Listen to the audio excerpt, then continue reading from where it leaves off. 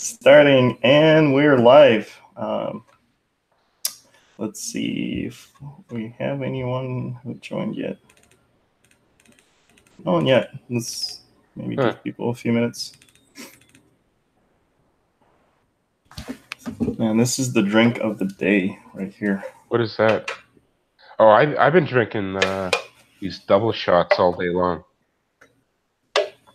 Which ones? Sorry. The, the Starbucks ones. I've been drinking these, and then I bought an espresso machine, and that just got delivered today. So- Oh, nice, Dangerous. nice. You're not gonna sleep now at all, then. Uh, never again. Man, you know, you know what I like the little. Uh, I'm too cheap for this, uh, an expensive espresso machine. So those little like kettles, uh, you know what I'm talking about? Like they're little. There's water in the bottom. Water in the bottom. I don't know what that is. Like you, it's like a little Italian like thing. You put like water in the Oh, bottom. Yeah, yeah, yeah. I, I used to have one of those. Um, so you're talking about they're like kind of like silver looking, and it's kind of like an old fashioned espresso machine, and you put it on your stove, and it will cook it, right? Yeah, exactly. I, I used I had one of those years ago, and uh, here's an interesting uh, fact: don't put uh, bleach in it because it actually causes a chemical reaction, and what happens is like a chemical comes off of it. It's it's deadly. I ruined a pot by doing that. Now the funny thing is, I can't find them. Oh, did you? I think it went frozen. Go frozen. Oh, I can hear you. Vasily went frozen. Yep. He, There he is. hey, I think it, all was right. holding- it looked like you were holding that face for a bit. I think uh, the hangout froze on you. That's what I thought. Yeah. Let me see- Let me see if all my stuff's still running. I had a little surprise because there's um there's something I have to run on my machine to demo, and it synchronizes with the network, and it takes a while for it to synchronize, and it uh, so you gotta sometimes it takes days to catch up. Days Uh, to catch up. Yeah, it downloads like the whole database, like the whole network, and it's and stuff is continuously put into it. So it depends Right. on your bandwidth, how fast your machine is, your hard drive, and um, Is it running now? Because maybe Yeah. that's why you froze. Can you stop it? because that's not going to be good if you're presenting and it freezes. I hope that was the VPN, so I shut that off. All so right. let's see how it goes. All right. Well, we got a few people. Well, why don't we go ahead and get started? People will just continue joining uh, as we move along. So, welcome everyone. Uh, welcome to the sixth and last Los Angeles uh, user group. Uh, this is a virtual LA user group, uh, pre-holiday or hol. I guess it is. We are in the holidays, right? So. Yeah, we are. But we're working. holiday season um, user group. Man, I still need to buy presents for people. Are you guys done yet with presents? I'm waiting for you to give me mine and not buy yours. Ah, I knew you were going to say that. See, I need to go buy presents. Yeah. I need to actually. I need to make a list. I'm so behind. I'm so Yeah, screwed. you should check it twice. yeah, I'm excited though. I mean, it's it's. Yeah, gonna I am. It's Um, to be a good one. You know, I I never really cared about Christmas until I met my- wife, and she uh she's the one who put the Christmas bug in me. Now I love it. It's one of my favorite holidays. It's the best. Yeah, I think that was a her plan all along, so she can get presents. it worked. yep. All right. So, well, anyways, welcome everyone. Um, so today we have uh, three presentations uh, for you guys. So we'll start off uh, with uh, mine, and uh, uh, for the folks who joined, my name is Vasily. Um, Sitecore MVP. Actually, we have three MVPs, so including me. So uh, I'll be presenting first, and then Mike. Everybody knows Mike. I don't need to introduce Mike. I, if, if you don't know Mike, you're in. I'm Santa Claus. you can't say you're in the cyberspace if you don't know Mike. Um, so Mike uh, will be talking about web forms or forms forms. or the lack of Experience forms. experience forms. That's right. That's right. It's all about experience. And we got Srikanth, um, our commerce MVP, who will talk to us about minions. little one eye, little funny guys that run in the background. you know, every every time we're at a client, because I, I deal a lot with commerce, right? So every time we're at a client Uh, and, and we talk about commerce and we talk about integrations and we, of course, meetings come up, every time there's just at least one, and everyone tries to keep it serious, right? So we're serious discussion, we're discussing infrastructure, then you know the design, and there's always just one person just chuckling after after someone brings up minions, and that person just chuckles the whole time. That's awesome. awesome. All right, cool. So I'll go ahead and get going. Uh, uh, today I will talk to you guys about blockchain. Let me see if I can share the presentation. Okay, let me get this going.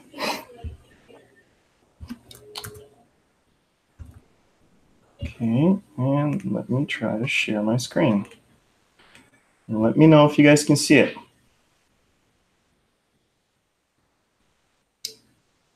You guys see it? I can see it. Okay, awesome.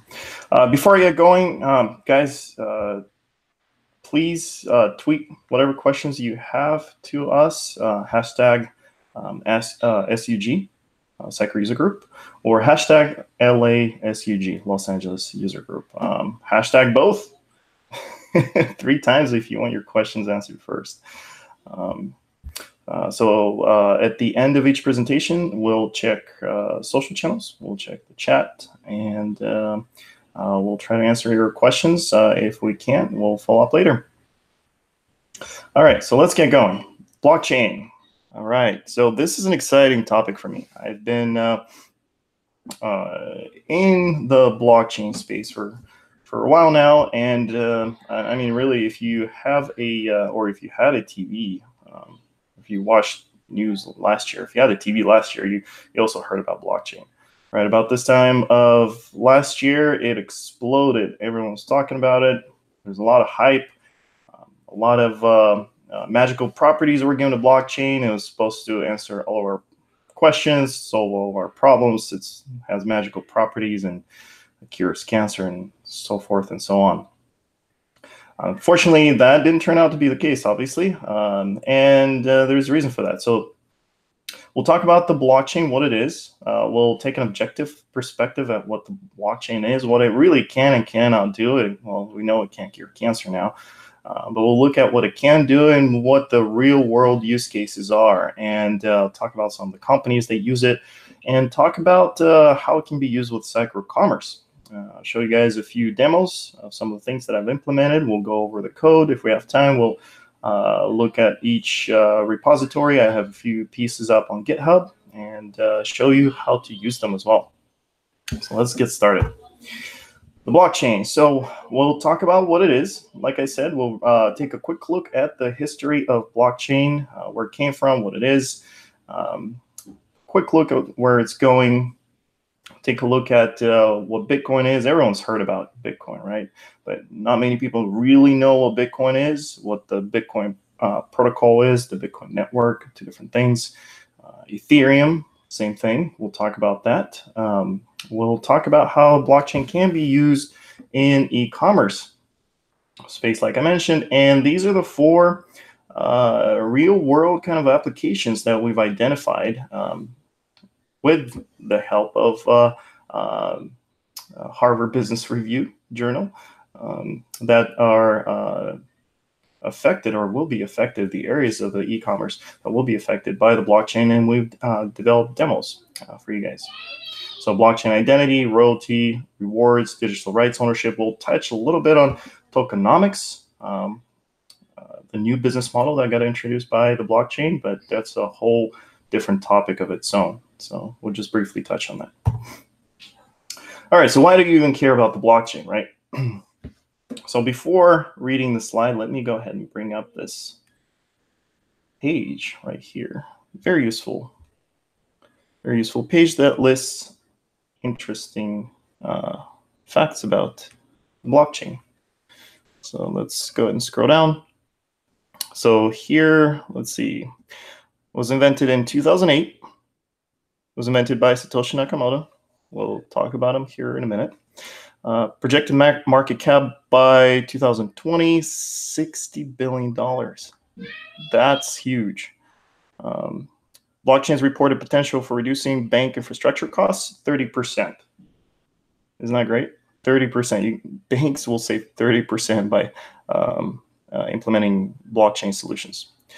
Uh, let's see. There was another one.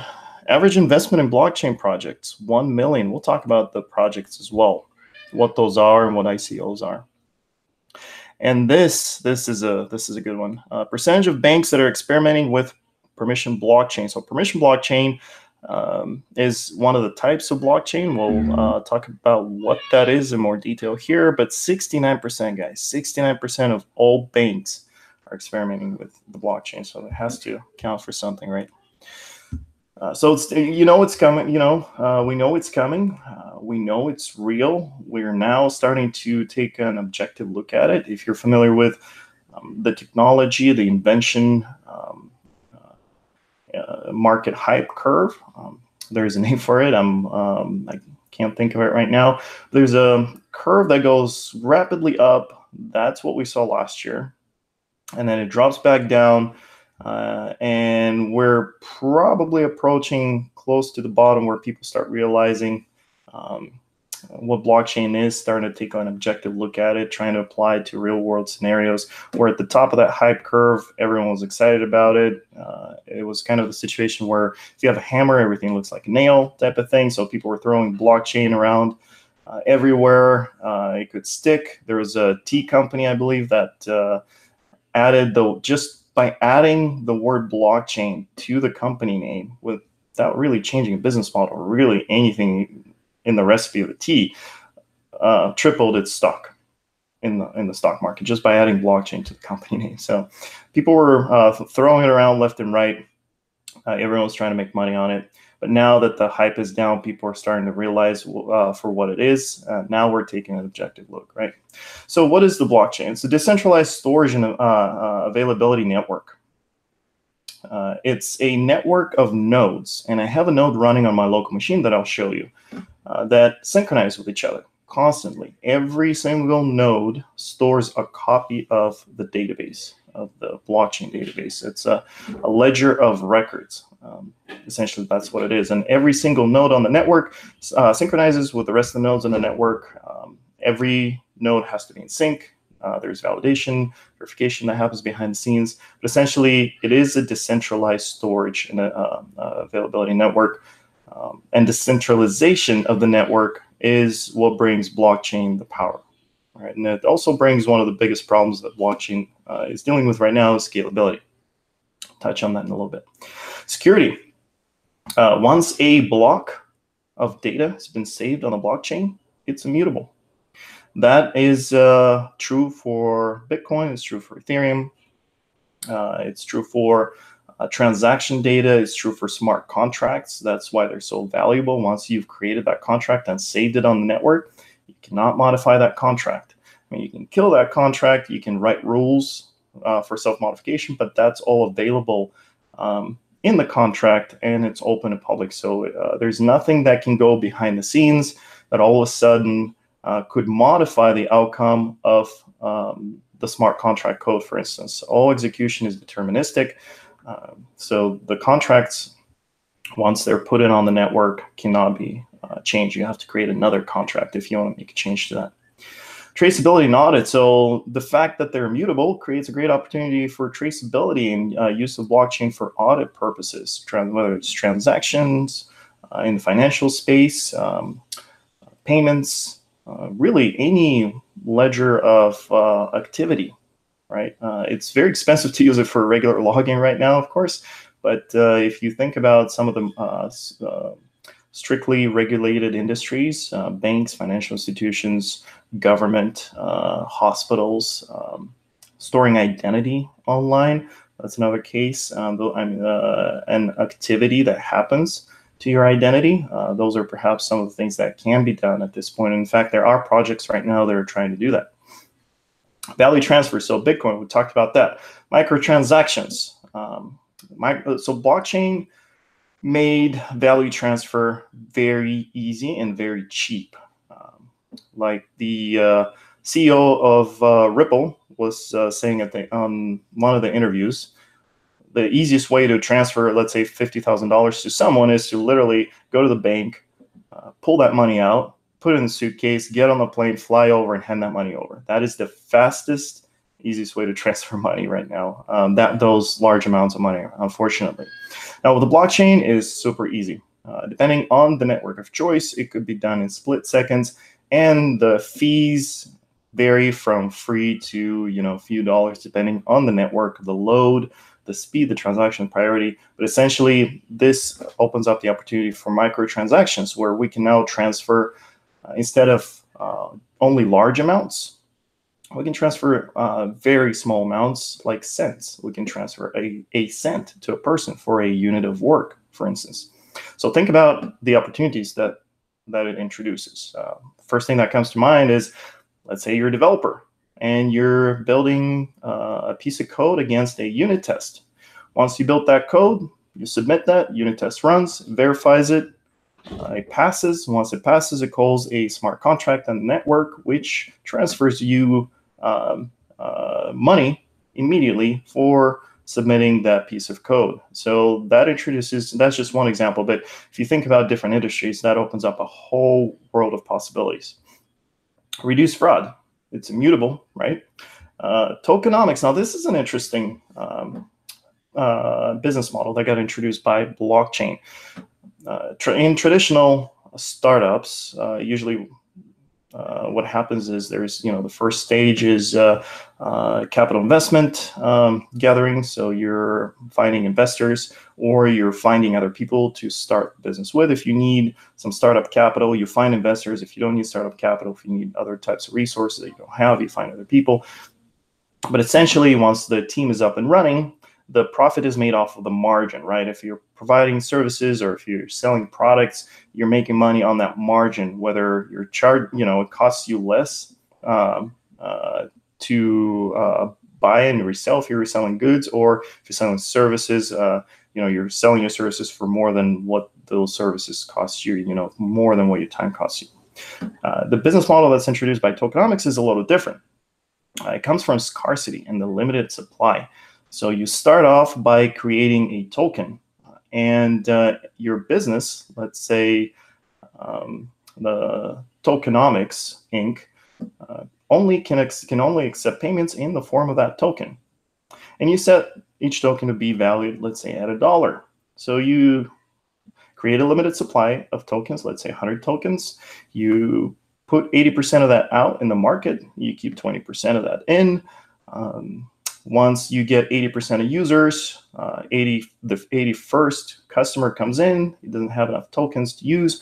So now, since your service is still valued at a dollar, the price of each token has to go up, right? So essentially, the price of each token inflates, and therefore the value of the 20% of the tokens you left for yourself grows, and then eventually you start selling off. Um, so that's the, in the nutshell, the tokenomics frame. Now, if you want to learn more about the blockchain, here is a great website, Blockchain Demo. Uh, this is perhaps one of the greatest, uh, um, best websites to learn how blockchain functions, how blocks are created, how they get verified.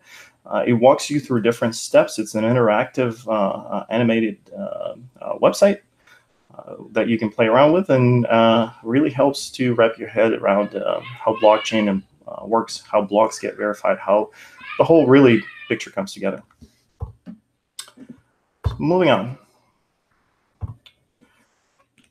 so we've talked about what kind of blockchain was. It's a secured ledger capable of storing data and running operations, right? So um, Digit is the most important invention since the internet itself. Uh, uh, well, Digit, the blockchain, uh, that is a misspelling. So the blockchain is the most uh, important invention since the internet itself, founder of Netscape. Uh, some compare the effect of uh, what blockchain is going to have on our daily lives to the invention of the internet, and some say it might be more impactful.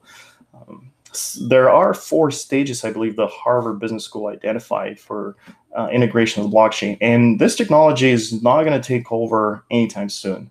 It will probably take five, maybe 10 years for it to really settle in um, and start being used and more uh, for other phases uh, to come in. The first phase is uh, ad hoc transactions, some of the things that we see with Bitcoin. Um, and then uh, the second stage, I believe, internal businesses internally starting to use it. So this is where we now see 69% of banks starting to use blockchain internally. Uh, then uh, the third phase is integration with external businesses, and the fourth phase, if I remember correctly, um, all phases of uh, business infrastructure get up on the blockchain or something like that. So it takes it's going to take quite a long time for for the blockchain to take over, but it will impact every aspect of our daily lives. Um, that is true. I'm not going to go into um, why and how. You can you guys can read up yourself or just you know ask your questions or ping me after the presentation. All right.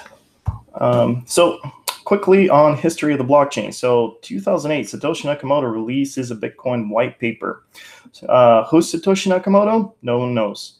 Still, to this date, uh, there are literally legend and sagas about this guy, uh, and no one really knows if it's a person either. So it could be a group of people that created the white paper. Uh, could be a person. There were a couple people try to impersonate uh, Satoshi. Came out saying that um, you know they are they were that you know person, but uh, obviously obviously they got uncovered.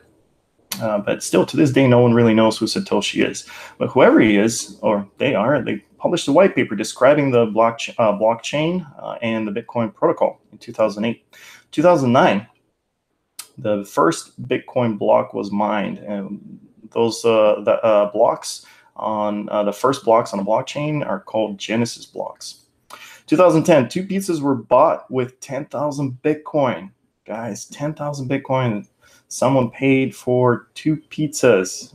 Right now, the Bitcoin is down probably about $3,000, but I'm it was at $20,000, I think, about this time last year, uh, or peaked at 20,000. So uh, I wonder how that person feels now, looking back at it.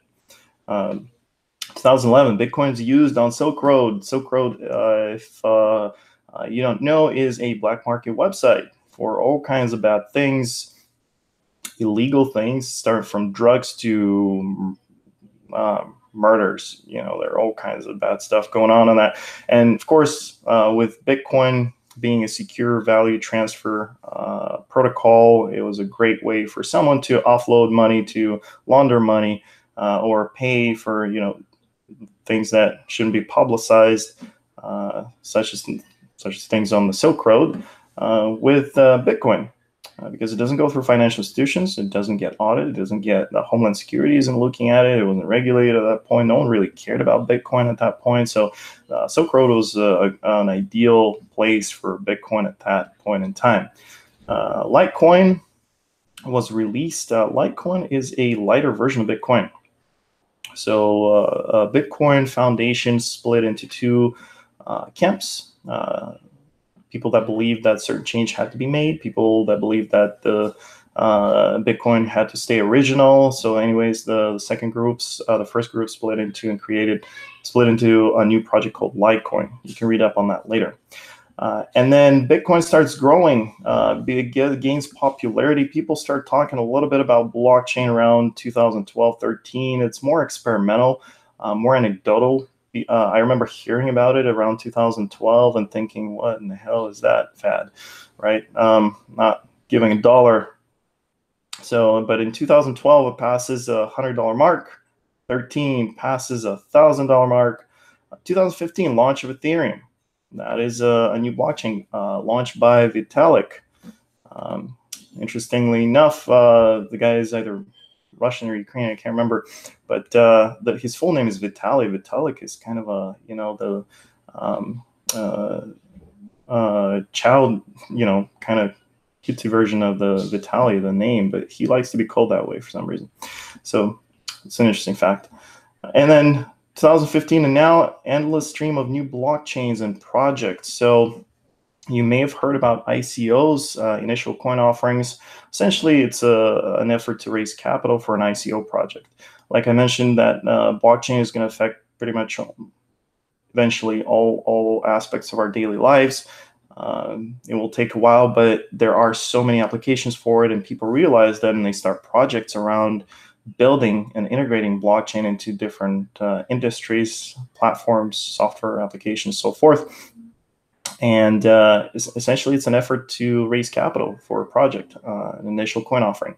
Uh, it was a it had a great run because it wasn't regulated by the SEC uh, for a while. Then SEC stepped in, finally started regulating it. So you start you don't really see ICOs anymore. They they call them initial token offerings now. So they took the uh, the word coin out of it, but it's you know same animal. But essentially, there are two camps in the blockchain community. If you start reading up about it, um, it's the blockchain is all about Bitcoin, or the blockchain is about technology. So I'm on the second camp, uh, technology. I think Bitcoin is great, but I think the technology is uh, itself is is going to have a much bigger impact on us than just the Bitcoin. So we talked about blockchain being decentralized and distributed what does that even mean, right? So right now we're in the centralized camp uh, with a lot of our services. So if we think about banks, we think about, um, gosh, post offices, uh, networks, really uh, Active Directory, right? So we have a node, a centralized node uh, that uh, um, controls lighter nodes, right? So if we're talking about Active Directory, you have a, a domain controller. We're talking about banking system, you have a banking branch, right? Uh, centralized bank. There's one place where everyone eventually goes to to do certain things, right? Whether it's uh, in the virtual world or in the physical world. And the reason why we have that is because of the lack of trust, right? We don't. Uh, we, we don't trust ourselves to store our money, right? Before banks, people used to store them under, uh, you know, bed mattresses or in all kinds of weird places, and uh, you know, from uh, trying to keep keep them away from people stealing them, right? So then we created banks. Banks uh, banks were safe deposit place for our finances. Uh, so again, that started because uh, the lack of trust. A lot of services started because of the lack of trust. And what's interesting is the blockchain is founded on the lack of trust. So blockchain is decentralized for one. So there is not a single centralized place where all the data is stored.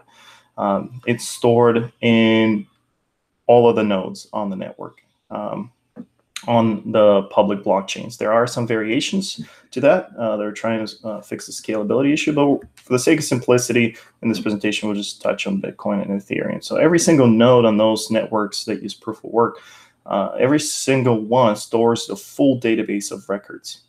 And uh, that would uh, what decentralized means, and distributed, uh, meaning every single node talks to every other node. So every node is uh, synchronizing with other nodes on the network constantly. Uh, and what that looks like is right here. Let me show you guys. Right now, I'm running a uh, demo version uh, of a of an Ethereum test network called uh, Rinkeby. So this is a full featured uh, Ethereum node running on a test network. As you can see, these are transactions that are coming in. Um, not necessarily financial transactions. These could be smart contracts executing uh, programming code, uh, or it could be value transfer happening on the network. But as you can see, these things start coming in. Sometimes they come in faster or slower. What I was saying in the beginning of the presentation, it took me a while to sync this. Um, if you uh, do want to build it on your machine and try to play around with it, I'm using a, uh, a client called Go Ethereum, uh, G-E-T-H, Geth for short. Very easy to install it. Uh, it really takes a minute to get going. You just download the Geth client, you start it up. Here is a command that you want to use. Um, so Geth, let me see if I can increase that font. So Geth Rinkeby, that's the name of the network. It's an RPC host, um, RPC API. These are the modules that we're loading. We're loading networking Web3. That's the protocol, oh, or the, not the protocol framework. Um, uh, loading network uh, path where the database is stored, uh, Ethereum, uh, where we'll accept requests from uh, all kinds of domains, and this is uh, and all kinds of IPs. Right? So this is uh, these last two uh, are required if you want to call remotely. But essentially, run this command. It's going to start a, uh, an Ethereum node. Now it, it might take a long time, depending on the speed of your server. Might take a, a while for it to sync up. Uh, the way to connect to it is uh, once you have it up and running, you see transactions posting. By default, it's going to appear um, on port 8545. So what you can do is open another window in DOS, do geth attach, and then uh, specify the endpoint, and that's how you can attach to an Ethereum node remotely. And it will connect you, uh, and you can check the status of the syncing process. Uh, if the sync is in progress, as you can see up here, it'll tell you where you are on the what your current block is, what the latest block is. So it'll tell you how much behind you are. uh, and once you're caught up, it'll return false. So I'm all caught up on my synchronization here, which is good. If I weren't, I wouldn't be able to show you guys the demo. So that's what the uh, decentralized and distributed uh, network is. Right? Okay, so what is Bitcoin, right? Bitcoin, gosh, got so much hype. Uh, last year, I, everyone was talking about it. Uh, essentially, it's a decentralized distributed means of, of storing and transferring value, right? Uh, it's uh, um, it's a network protocol, and uh, it is also a coin. Um, it carries the same name. One of them is spelled with a lower b, can't remember which one, but uh, Bitcoin is both. Uh, it's a network and uh, the uh, the gas uh, money, quote unquote, is, is what's called in, in the blockchain space. What pays for transactions and what pays all the miners that uh, verify transactions. So essentially, it's a way to transfer value, right, from one person to the other. who gave Bitcoin value? We did. Um, because we think there's a lot of potential in it, because we think uh, that uh, uh, because of the limited supply, uh, in, in, order for Bitcoin to be able to accommodate all the financial transactions that happen on a daily basis for money transfers has to be of a, of a certain value. So there have to be so many dollars in one Bitcoin for it to account for all the uh, daily transfers, right? So that's where the value comes from. Uh, but it's kind of the same thing, right? What what gave gold value? Right? Same type of argument. So no one really did. We just think that it's useful. Um, yeah. uh, Bitcoin networks um, are huge, and it, the Bitcoin uh, network has grown so much. Uh, check this out: Bitcoin network uh, has a computing power of uh, over two million units, uh, computing units per second, compared to 274 same uh, types of units per second computing power of the 500 most powerful supercomputers combined, and that is in the world. So, guys, I mean, 2 million compared to 274 of the most powerful supercomputers. That's how big the network is. And I think the energy cost of the uh, Bitcoin network is larger than some of the European countries, uh, uh than the energy cost of uh, several European countries combined. So it's huge. So why did we jump on Bitcoin? Initially, Bitcoin was fast. Now it's super slow. Uh, initially, Bitcoin was cheap. Now it's expensive. it, it is still secure uh, and it is still easy to use, but it is running into a lot of scalability issues. Uh, and that is uh, uh, the problem that a lot of the blockchains are trying to solve right now. You, there isn't really a good solution yet. The, um, projects, different various projects, uh, try to come up with creative solutions trying to sacrifice some of the features that make blockchain what it is and make it popular uh, for the sake of performance and scalability. Uh, but there isn't a fix for scalability yet without sacrificing some of the features. So uh, different blockchains solve it differently, different projects. So um, there are uh, private, there are public blockchains, there are consortium blockchains. Uh, public, both Bitcoin and Ethereum are what considers public blockchain. What we looked at 69% of the banks uh, playing around with uh, were called permissioned blockchains. Those are either private or consortium. In fact, uh, there is a blockchain as a service, BAS, um, service offered by Azure. So you can, if you have Azure credits or if you've never registered on Azure, go and uh, register. You get some um, uh, free credits, I believe, uh, with your registration. So play around with that blockchain. You can create some consortium blockchains. Essentially, it's a hybrid between private and, and public. Um, retailers using Bitcoin, interesting. Stock, uh, Overstock, Expedia, Newegg, Microsoft. Microsoft actually used uh, um, its consortium network on Azure, I believe, uh, based on uh, Ethereum. Can't remember. Uh, for royalty payments for Xbox game developers. So that was pretty cool. Uh, and like I said, there are plenty of scalability issues. So what is Ethereum? So while many call Bitcoin um, a blockchain 1.0, uh, Ethereum is called blockchain 2.0. Now there's also 3.0 blockchain. Um, I forget what the name of the network is, but Ethereum essentially added the ability to store code on the block. So where Bitcoin was simply transferring debits, credits, so plus minus decimal, right, from uh, one account to the other. Because uh, essentially, Bitcoin, where your Bitcoin is, it's not. It's just a, a store of debits and credits. Um, while Bitcoin was simple that like that, Ethereum is a little more complex. Uh, so Vitalik had the ability to run code on top of that network, uh, and so he split off, created his own uh, blockchain called Ethereum. And uh, so here are the areas where Ethereum uh, is going to make the biggest impact in the coming year. So supply chain, uh, because the network is secure, um, because it's immutable. if we can integrate all aspects of the supply chain uh, industry uh, and put all that on the blockchain, we can ensure um, the the sourcing and the history and uh, uh ensure the the integrity of that information and, and see exactly where each product is coming from, uh, how it was put together, things like that. So a lot of lot of uh, potential in the supply chain uh, space. Identity ownership that's a huge one, and I'll demo uh, that in, uh, here in a little bit.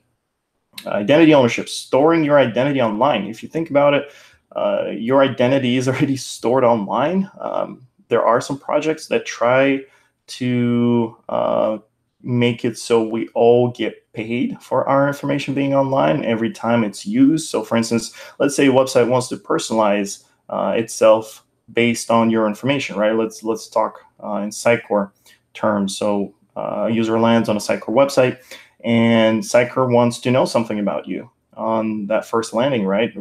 As you first hit the website without having any prior interaction history with the site, I mean, the only option really you have right now is to hit a third-party ad network. Um, you know, that could potentially shed some light on the user, uh, but it could be made so once a user uh, lands on the website, the website could ask uh, for the different types of information for your personal information, and you could also get paid based on that information.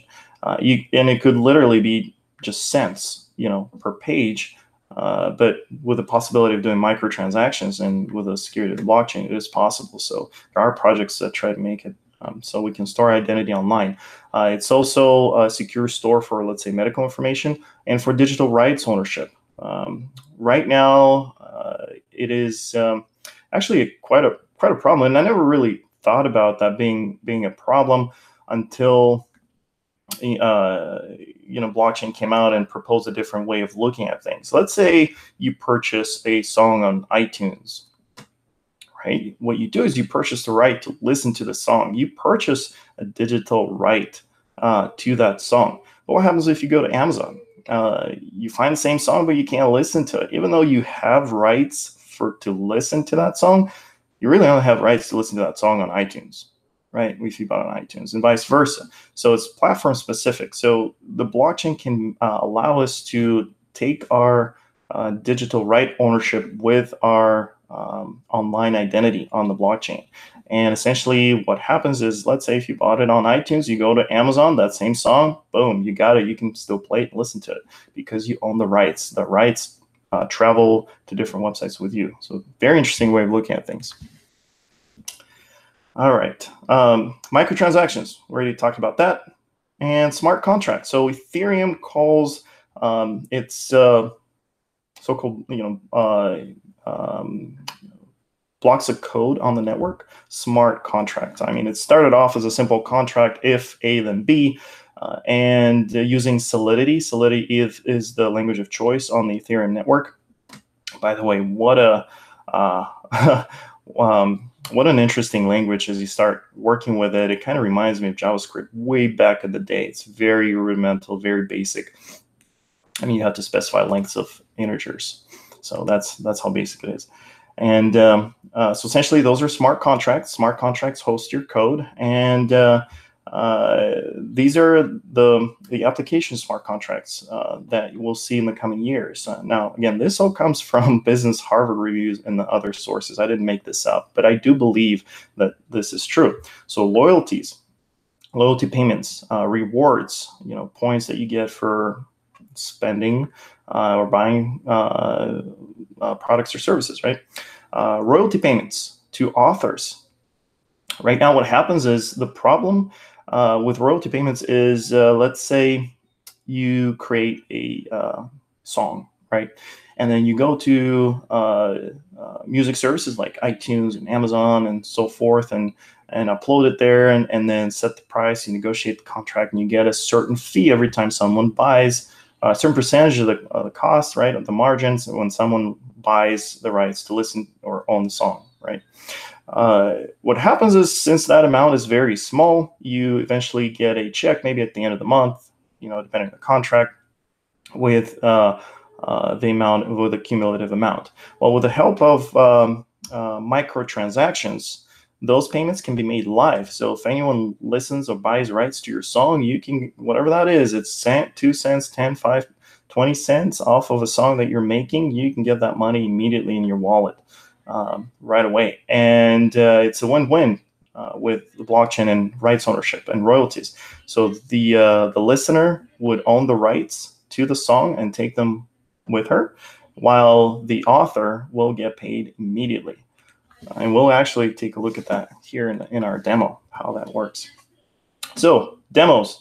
I think I'm a little behind, but I'll run quick. Uh, blockchain identity. So we'll take a look at what uh, um, uh, what it takes to create an identity on the blockchain uh, with Sitecore Commerce. All this is integrated with Sitecore, Sitecore Commerce.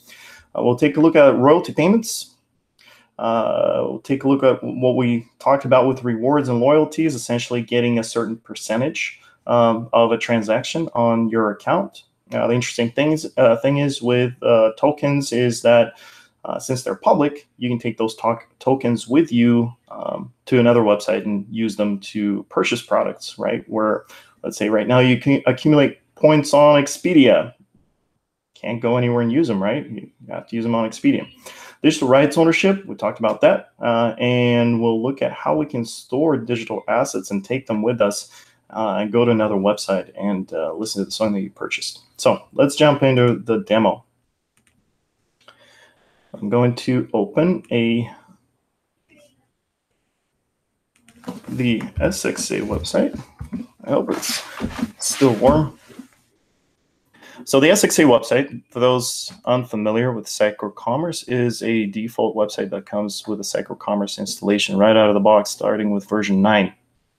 Uh, it is built on top of uh, the Sitecore SXA, uh, Sitecore Experience Accelerator, and if you don't know what Sitecore Experience Accelerator is, it's a, a library of Sitecore components uh, that allow you to build a lot of widgets. So, I mean, the a lot of things that aren't super complex on the website without doing any development. Essentially, there's a uh, it, it's an accelerator. It increases the release time to market. There are a lot lots of other things that it can help with, but that's in the nutshell. If you want to learn more uh, look it up on uh, on Google. It's it's definitely a, a, very very cool project. Well, it definitely wasn't warmed up.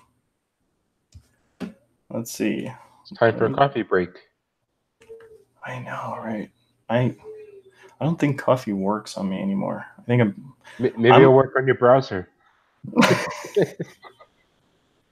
it might.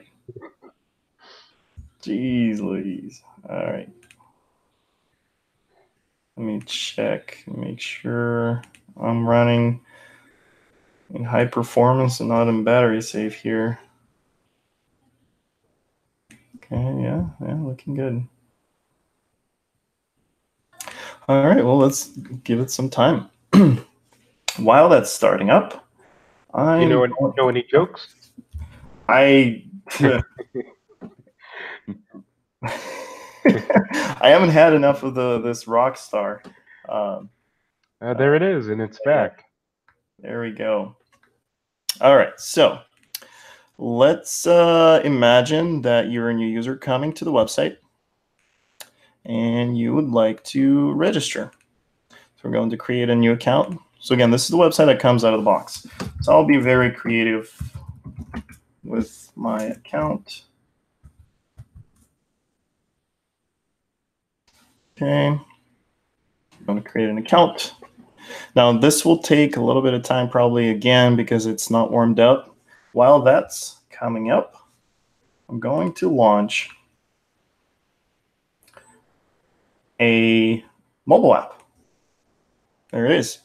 So it's another app. The source code for this, uh, another, uh, it's a mobile app built for Android and iOS devices uh, that can allow you to view your balance on uh, the Ethereum network. Um, the uh, the balance of um, uh, Ethereum that you got paid, and we'll wrap this in a little story that we showed at the symposium.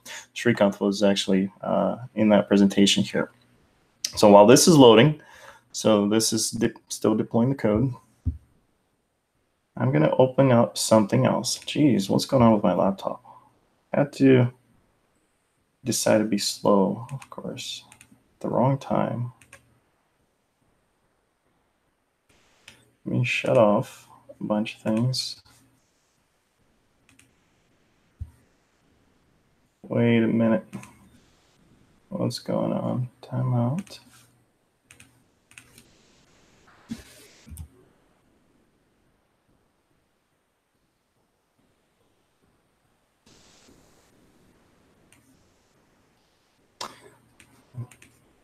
Something is up with the network. Did you pay Hold your internet pay your internet bill? I did. I think it did the same thing. I think it did the same thing with that it did earlier today. Just got stuck on me. So Right, right. Window just gets stuck, and you think it's syncing, but it's not. All right. So I just restarted. So again, this is my blockchain uh, node, Ethereum node. As you can see, it started on port 8545. I'm going to exit and reattach.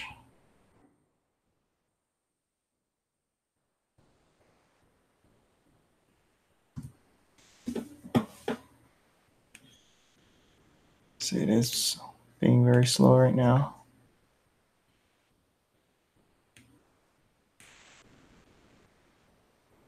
Hold on, let's restart. Not the computer, but the the command prompt.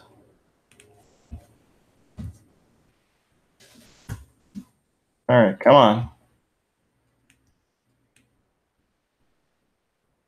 I even jumped off the VPN for this. Come on, you can do it. Let me run it as an admin. Maybe there's a weird access issue. All right.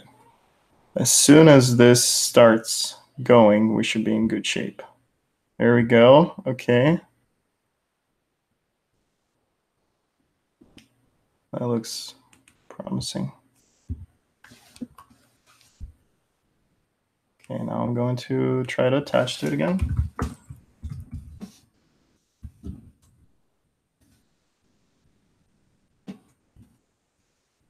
All right, we're importing.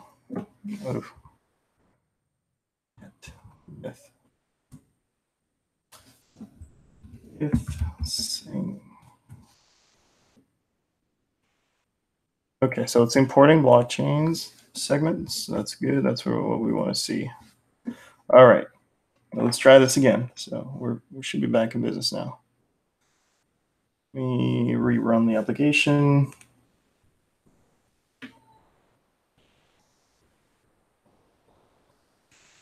While this is loading, I'm going to restart the website and we'll pretend that none of what we just saw happened. What happened? I didn't see anything. No idea. Look how fast the website is. Who said that we had performance issues in SXA? All right, let's try this again. So let's do bbb.com.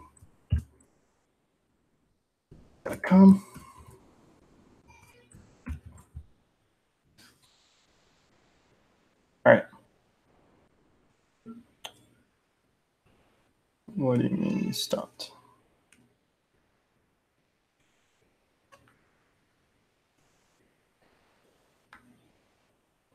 Okay.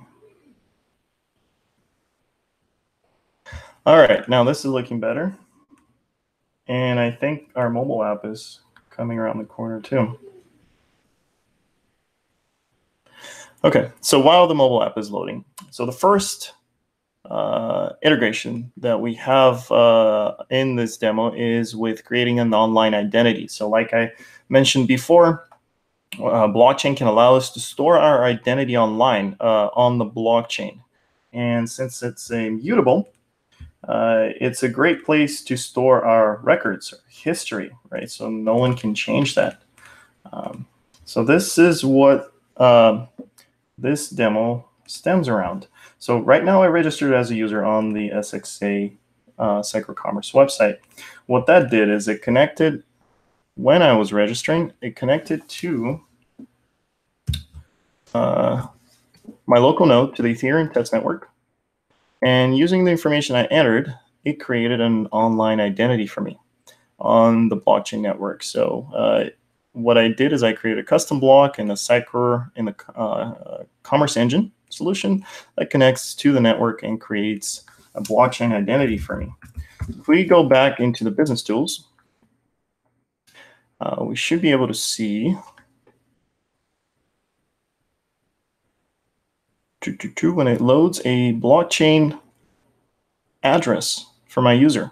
So that is the address of the contract where all my information is going to be stored, where all my digital rights are going to be connected to, uh, my uh, ownerships, um, my royalties, my uh, rewards, and so forth. So that is my sort of identity, right? Uh, the virtual identity on the blockchain. And if someone wants to get access to it, I can implement a method on my identity contract and uh, charge for that information. Okay. All right, we're coming around. We're getting close. All right, let's take a look at customers.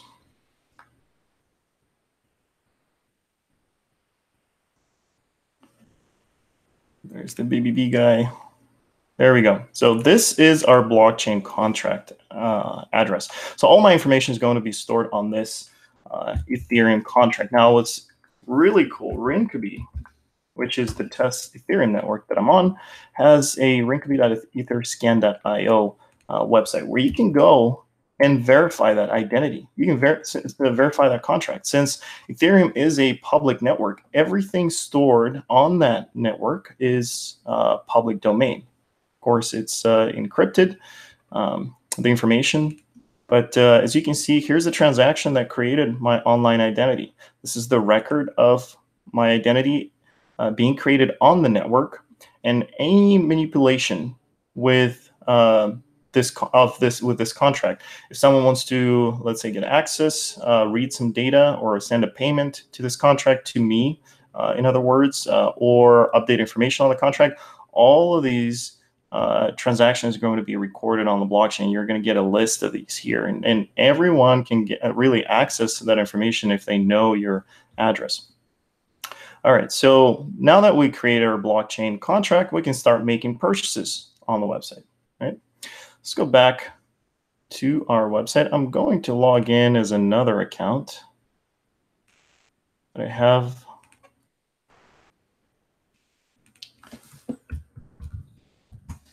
okay. This is another demo account. In the meantime, let's check on our mobile app.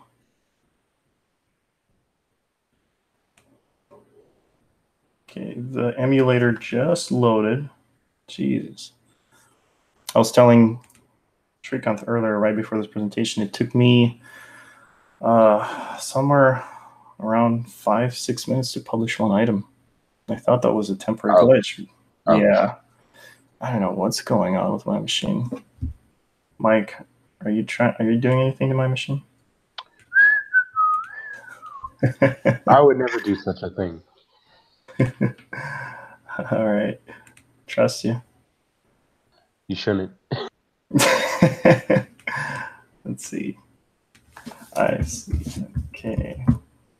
Getting. All right, come on now. Oh, I see what's happening. So my mobile app was still pointing to our demo server for uh, uh, connecting to the Ethereum network. And looks like someone brought that down. That's why it wasn't connecting.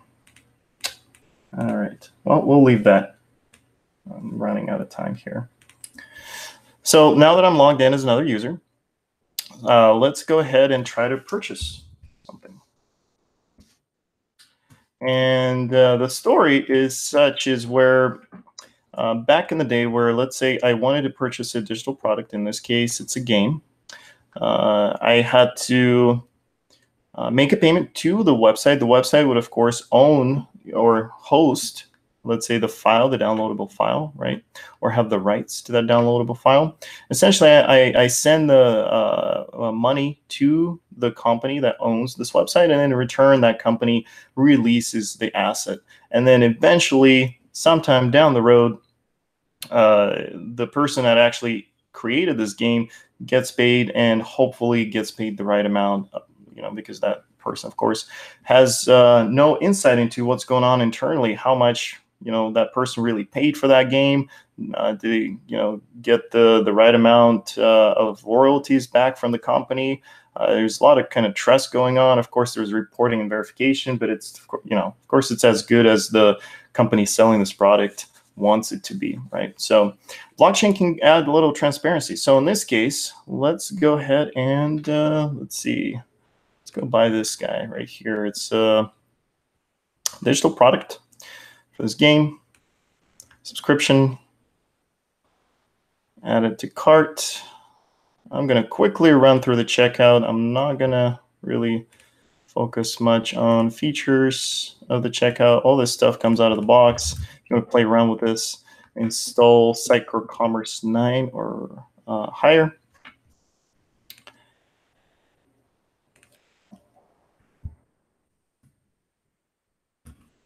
Okay. $32. All right. Validate. Validate. Oh, there we go. Um, and let's see. I'm going to turn some other things on to try to improve the speed of my machine. Okay, should hopefully that makes it better. Always picks Canada for me. Wonder, wonder why, Canadian guys. It's it's an omen. You you have to go there and move there. it's because the because the commerce team is in Canada. uh, all right, so now I'm going. I'm going to go ahead and confirm the order. Click. Now let's check this window. Notice things happening on the network. So when I hit um, create order, uh, there are a few things that are happening behind the scenes. First, what I'm well, uh, what one of the customizations is doing is it's uh, hitting a a royalty contract, and a royalty contract stores a ledger of digital products. That royalty contract is owned by the creator of that game. So what I'm actually doing is I'm sending money directly to the creator of the game right here. And I'm sending uh, a certain amount of money that the website says that that game is worth. So the royalty contract uh, behind the scenes uh, receives the amount of money. It makes sure that it's enough to pay for that game, and then it releases a download token back to me through the website, and the website passes it on to me. So this happens behind the scene, and all this is uh, determined by the contract developed in Solidity on this blockchain. The second thing that happens is uh, uh, we um, uh, verif- uh, we store update our loyalty rewards balance on the account. So for this transaction, we're going to get a certain amount of uh, tokens on our account. And uh, let's see, tokens, loyalties, rewards, and uh, we're also updating our identity contract. We're storing the fact that we own the rights to this product on our identity on the blockchain. So next time, let's say if we go to another website, uh, if that website integrates with uh, this uh, Ethereum blockchain, we can update, uh, insert our online uh, address, that contract that I showed you guys earlier. and it should, if the website is integrated, it'll allow us to download that game because we own the rights to it. So here's our order. It succeeded. Let's take a look at what happened behind the scenes here in Sitecore Commerce. So let's go back into uh, customers, our GGG customer this time. So this is our I online identity contract. Now, this is our royalty or loyalty or rewards point balance. So with every transaction, we're hitting a loyalty contract. Uh, that's what I mentioned earlier. This is a contract stored. It's a smart contract stored on the Ethereum network, also developed in Solidity. Uh, which uh, I believe applies roughly about 10%. There is a market exchange rate that comes into play here, so it's it's roughly 10%. So you know, depending where the mood of the market is, you know, at any point given um, in time. So uh, so this value is constant. So we have point um, 0.09 Ethereum. Uh, it allows up to 18 decimal points, uh, and that translates into almost $10. That's our loyalty balance. So we're publishing purchase products to the network. That means we're storing uh, every time we're uh, uh, buying a digital product, it is stored on uh, on our identity, and we have the rights uh, to download it. So let's see what uh, happens now on the website and how website changes this time around. So let's go back into that game that we just bought to the product detail page and see how that changed. Is this the guy? I think that's the guy. Now notice I no longer have the add to car button. I have the download button. Well, what's interesting, I mean, it's easy to implement, of course, by reading the order history here. The difference is that we are not reading the order history. We're reading our online identity contract. Since there, our online identity contract says that we own rights uh, to this game, uh, it allows us to download it right away without uh, having you know uh, to pay for it again. And really, if another website, I could spin up another SXA site, and that's what we showed in this uh, at the symposium demo. Uh, if I were to go into that SXA site, uh, because it integrates with a blockchain, and if I were to apply this contract to my user on that blockchain, I could create a completely separate account. Uh, but as long as I apply my online identity in in the account portal to my account, it would also allow me to download that game. Um, completely different domain, different server. Doesn't really matter. You're taking your rights with you.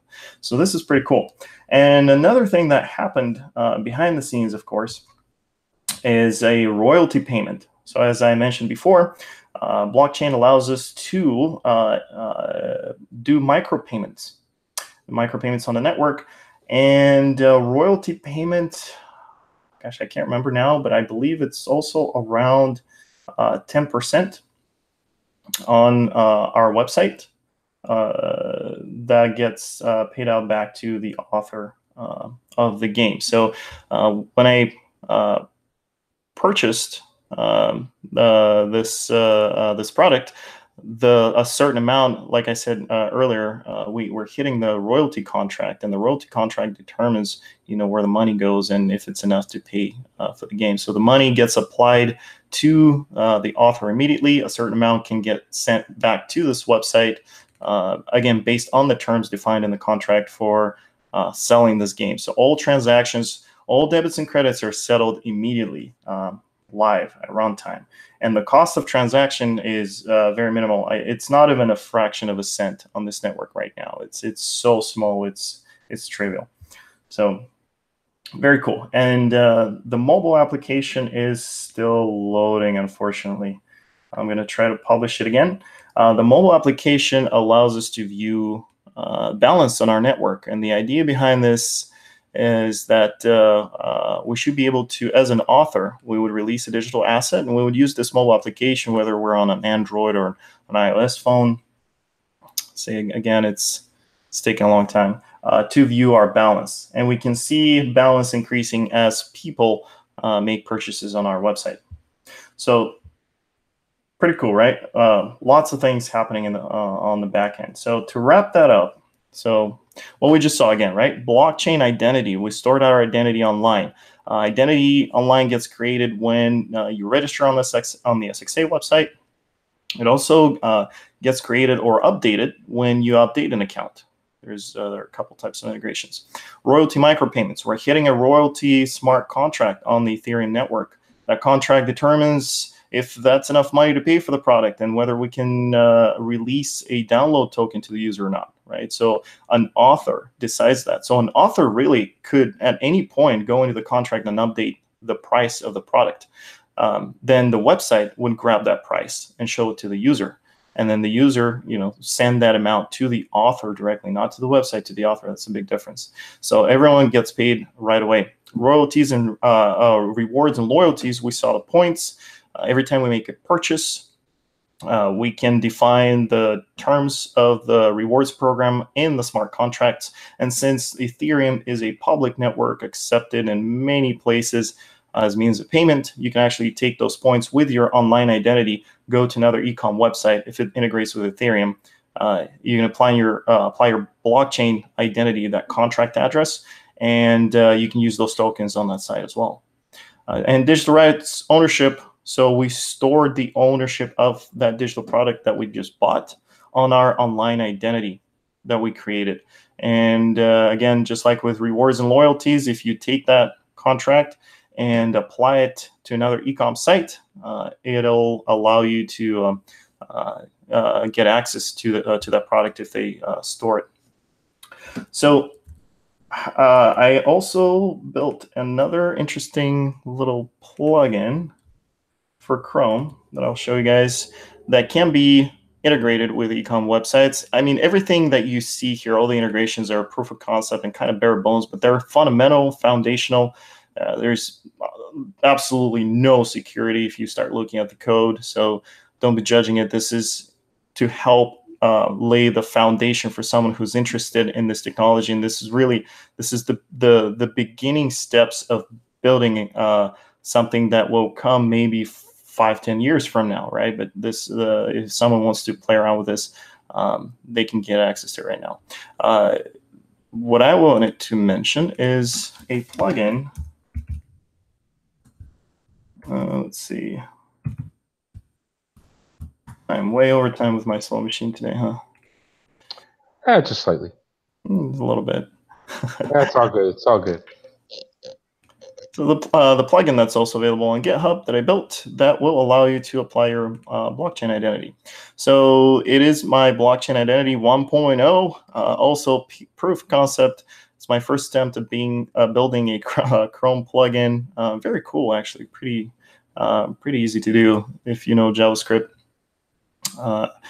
and you essentially what you can do is check if the website supports um, blockchain integration. So as you can see, it's disabled right now. If I go to my SXA website, let's see. Mm, is everything against me today? SXA. Well, let's see.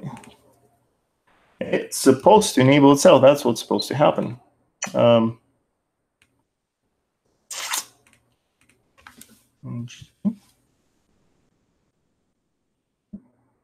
what is it listening to? So there is uh, this plugin. What it allows you to do is store a. You're gonna have to trust me on this one. So um, it uh, it allows you to store your online identity contract and apply it to the website. So uh, if you come, let's say, to the registration page on the SXA website, it uh, bakes that into the markup. It doesn't really do anything. It, it more of an emulation of the application behind the scenes. It doesn't really call an endpoint, but you could potentially create an endpoint that this plugin would call uh, and apply your identity contract. So this is how you can take your identity with you to a different ecom site. Right. And uh, so now let's take a look at the uh, repository. So all this, all the all the things that you just saw are on my GitHub page. SXE Ethereum. Uh, this is the repository uh, that stores the Sitecore part of the integration. That stores a uh, digital download rendering that allows you that checks uh, the Ethereum network for your digital rights. And if the product you're looking at is in your digital rights store, it allows you to download it. Pretty simple integration with Ethereum uh, network C sharp library. Uh, it also um, has a custom personalization rule uh, that uh, also checks uh, uh, um, your purchase history on the blockchain on your identity contract and allows you to personalize the website experience based on that. So I believe it's called if logged in customer purchased current product. So if the customer purchased this product, that you uh, that the customer is looking at, you can personalize, turn things on and off based on that customer. Uh, SXE C Ethereum plugin. So this is a commerce engine customization. Has a couple projects. Uh, one for the updated. Um, uh, well, no, the, this guy has the updated proxy. So this this is the customization to the Commerce Engine uh, solution that does all the communication behind the scenes. So creating an online identity, calling the royalties and the loyalties contracts online, on the blockchain, uh, settling payments, everything is done in Commerce Engine. So that code is stored here. Uh, mobile app that was way too slow tonight is in mobile Ethereum balance, and I, I swear it works. Um, download it, just update the endpoint in the code, uh, in the uh, code there, and point it to your local. And this is the Chrome blockchain extension that also didn't collaborate today. So all these are public available uh, for you guys to look at. Um, if you have any questions on that and how to use them, how to set that up, uh, let me know. Essentially, SXE Ethereum, all you do is you just publish it to your Sitecore solution. Uh, I can't remember if I have Unicorn serialized the rendering, but the code for the rendering is definitely in the for the custom rule is definitely there. Uh, this guy, uh, CE plugin, included in your Commerce Engine solution, just like any Sitecore plugin. And uh, uh, make sure to include the JSON with a policy in your environment. When you load it, rebootstrap, publish, you should be good to go. Mobile Ethereum app, it's ready to roll. Just run it. Um, should be good. You'll have to install Xamarin locally if you don't have that to get that running. And for Chrome, just uh, download it and uh, include it in your extensions uh, in the developer mode um, this is not an officially published extension. So you have to enable the developer mode to do that. All right, I think I'm done. Um, so thanks everyone for listening. Uh, so this is my contact information. If you guys have questions, uh, please reach out to me. I'm always happy to help. Uh, talk about blockchain, artificial intelligence.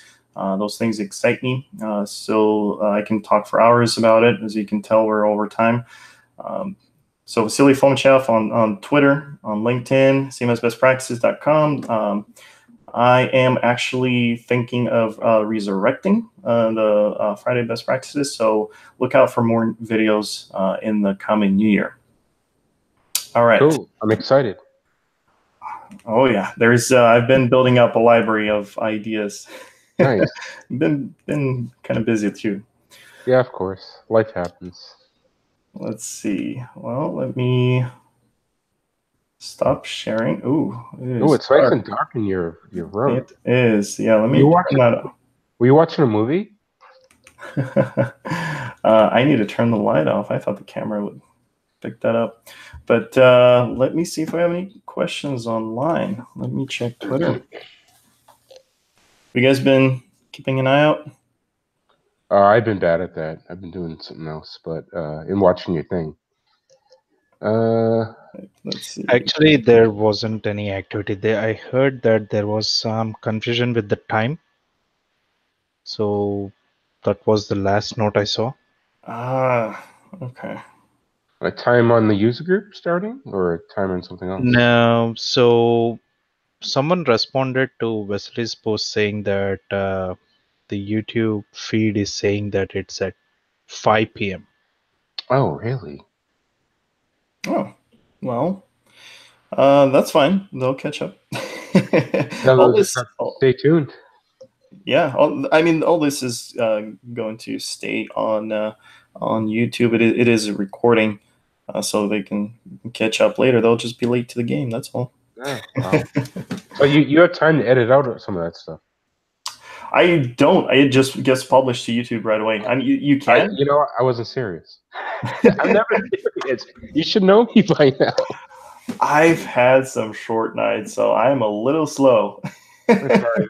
That's all right. It's uh, it's almost time for the holidays. Take time off. Sleep, please. Oh yeah. All right. Well, uh, I don't see any questions, um, and looks like that's. I was wondering why we only have so few users Nah, joining. us. All right. So uh, that is for the. Uh, that's it for the blockchain. Uh, thanks for uh, sticking around for gosh an hour and twenty minutes almost. Wow. Um, yikes. Uh, well, uh, next up is Mike. Mike is going to talk to us about Sitecore experience forms. Um, All right. I So should my- call my thing experience blockchain. Yeah, well, you have to in order to make it official. Seriously, if it doesn't have the experience or an X, it's not official. that yeah, I I'm gonna I'm gonna rename my uh, repositories now. That's it's a good idea. Can you, All can you, you Huh? see my screen? Uh, yep. The slide deck? yes. And Secure me. make uh, you make sure that it doesn't take over because the mic takes over the screen when you start talking. Uh, I made it so we can see your screen. Uh, Right. Permanently not. Okay. Go ahead and take it off. Uh, kick it off. Take it All away. right. So I am here to talk about Sitecore Experience Forms. Uh, it's a presentation that I typically give with uh, my buddy Cam, but I'll get to that slide in a minute. But anyways, just a couple of community announcements. If you're not in the Sitecore community Slack, you really should be. Uh, here's a link to send a request, and one of our us admins will field that request and send you a link to get on it. This is there are at least well almost 4,500 members on here actively well not at the same time but actively sharing information with each other answering questions and having a laugh you know work shouldn't be stuffy during the day so why not get on there and help other people out Ian, laugh at giphy also uh, because we don't really have much of a uh, persistent uh, archive of things that are on the slack if you want something more persistent that you can look it up later forever you can go to the Sitecore stack exchange. Uh, really we need your help. Uh, the community's been jumping on there and helping each other out but this is a great resource to find out other information if you need some help or you can jump in and help other people. Who am i? I am mike reynolds. I'm the guy that's known as a Sitecore junkie in the community. Uh, been called a few other things Sitecore wizard whatever. Um, you want to get in touch with me here's my twitter but the best place to get me is on slack because i'm always on there doing admin things or trying to help other people or just making you laugh. And here's my blog. I do blog every once in a while, but um, my focus really has been on presentations as of late. But I'm also the guy known by lots of images and emojis and other things. So if you see these, this is probably a reference to me. Um, it's all there just to make you laugh or whatever. But really, uh, so as I was saying before, I give this presentation with Sitecore MVP Kamruz Jaman, but unfortunately he can't be here tonight because he's saving the world uh, in Canada by eating one poutine at a time and doing Coveo things. So in his absence, I will speak on his behalf. Uh, I know he actually presented at this user group at the beginning of the year, but um, I basically will have to field this without him. And anyways, let's jump to the other slide deck because I have two. I just like that using that slide deck to kind of troll him a bit because that's what we do with each other. anyways, so now we're going to talk about Sitecore experience forms uh, with 9.1 more experience.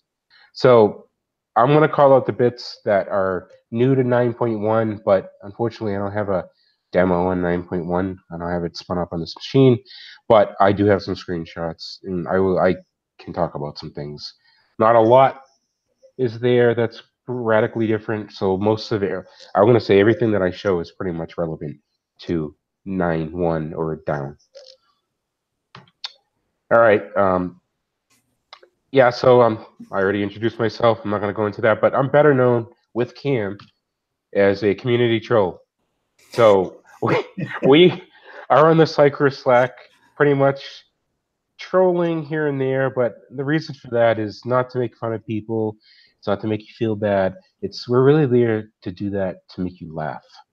Um, I studied psychology as well as computer science when I was in college, and uh, one of the things I remember taking away from the learning and memory course was if you can make somebody laugh while they're learning something, they're more likely to retain information. Moreover, if you can associate it with something they already know, like through an analogy or whatever, it helps them also retain that information. So that's why we do it. We want you to laugh, and it helps you remember stuff. By the way, give it back to us because we want you to do that. Anyways, let's think of the utopian dream when it comes to a forms or a form builder. One of the, and let's make pretend you're not a developer or, an architect or something, and you want to log into Sitecore and just build a form without having to ask a developer for help. Wouldn't that be the dream? well, well, we can't really say that was the dream of web forms for marketers uh, we have to start here because we have to know where we are today with experience forms. Well, web forms marketers was the first thing that acted as a form builder in Sitecore way back when. So I remember when this came out. I think it was version six, um, 2009, and I remember I looked at this thing and I was afraid of it because I didn't, I didn't believe that people could just build a forum without a developer's help. I'm like, how is that even a thing? Um, I remember there weren't many features on it. it was just thing, and I'm like, all right, I'm not going to touch it. I eventually did start using it probably three or four years after it was released. Um, you had to install it as a separate module, so it was a Sitecore package, and you had to follow some post installation steps to get reCAPTCHA to work and other things. But if you look at when it started all the way up to when it was supported MVC, we're, we're looking at a period of five years here. So maybe you know, almost five years. It came out, you know, it supported MVC in 7.2. Uh, that's a big period of time when people started using MVC pre 2014. Um, but within that five year time span, I saw a lot of things added to web forms marketers. Um, lots of things were introduced. Uh, things such as, I mean, I can call this out on the top of my head, but they started using some magical configuration factory type dependency injection stuff that didn't exist before. There were a few other things. Um, but I remember even after 7.2, things started to change where first we got razor views in the file system. That was awesome. You could start changing things. But then they started getting baked into HTML helpers and you couldn't change markup. But anyways, I'm sure we've all used this. If you've been around the Sitecore world for a while, I'm sure you've had your pain with it. But um, it was the module that kept on giving so to say. Um, I would say most of my blog posts out of any topic I've ever done was on web forms marketers. At least I'm going to say 25 to 50 posts. I actually don't know. There are a lot. Um, and I had to customize it for particular reasons, you know, to build things for customers and things like that. Um, and just experimentations to see how I could make things work a little differently. But, anyways, I'm sure you feel the same sentiment, but goodbye, web marketers. You know, loved you a long time ago, but it's time to move forward to 2018. Um, we and that's where we are now with experience forms. So this is not a module. This is a core feature of Sitecore 9 and up. So when you install Sitecore, you have it. It's right there. Um, it's built brand new. There's no web forms for marketers stuff in it at all. It is its own thing. Um, if you're you still using web forms as a technology, well, you can't use this because it only supports MVC.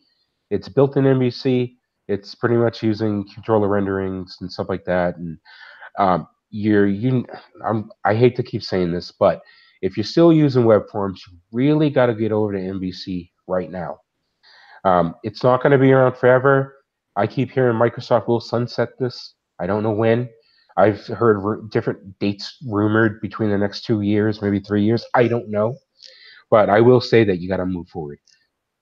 Uh, this has a modern drag and drop UI where you can drag things from a right panel over into a left pane, and you'll see a spinny and pop. You have a field right there. You can start changing things. By the way, this is within a form builder, and I'm going to show this, but uh, everything's so you it's not in the experience editor. I will get to that a little later as to why, but uh, you'll have a form builder where you can do all this stuff. Um, multi-page forms are supported in this. So what does that mean? So you can have a wizard form. You can have like five or ten steps, how many steps you want, as long as you put it together. Um, also, that means you can have a confirmation page inline, right on the same form without having to redirect to another page. You could do both actually in this module. Um, as I already mentioned, as part of Sitecore when you install it, I will say the documentation on this is some of the best I've ever seen with Sitecore, period. Um, all of this is on Sitecore.com. You do a search for experience forms, you'll find some stuff.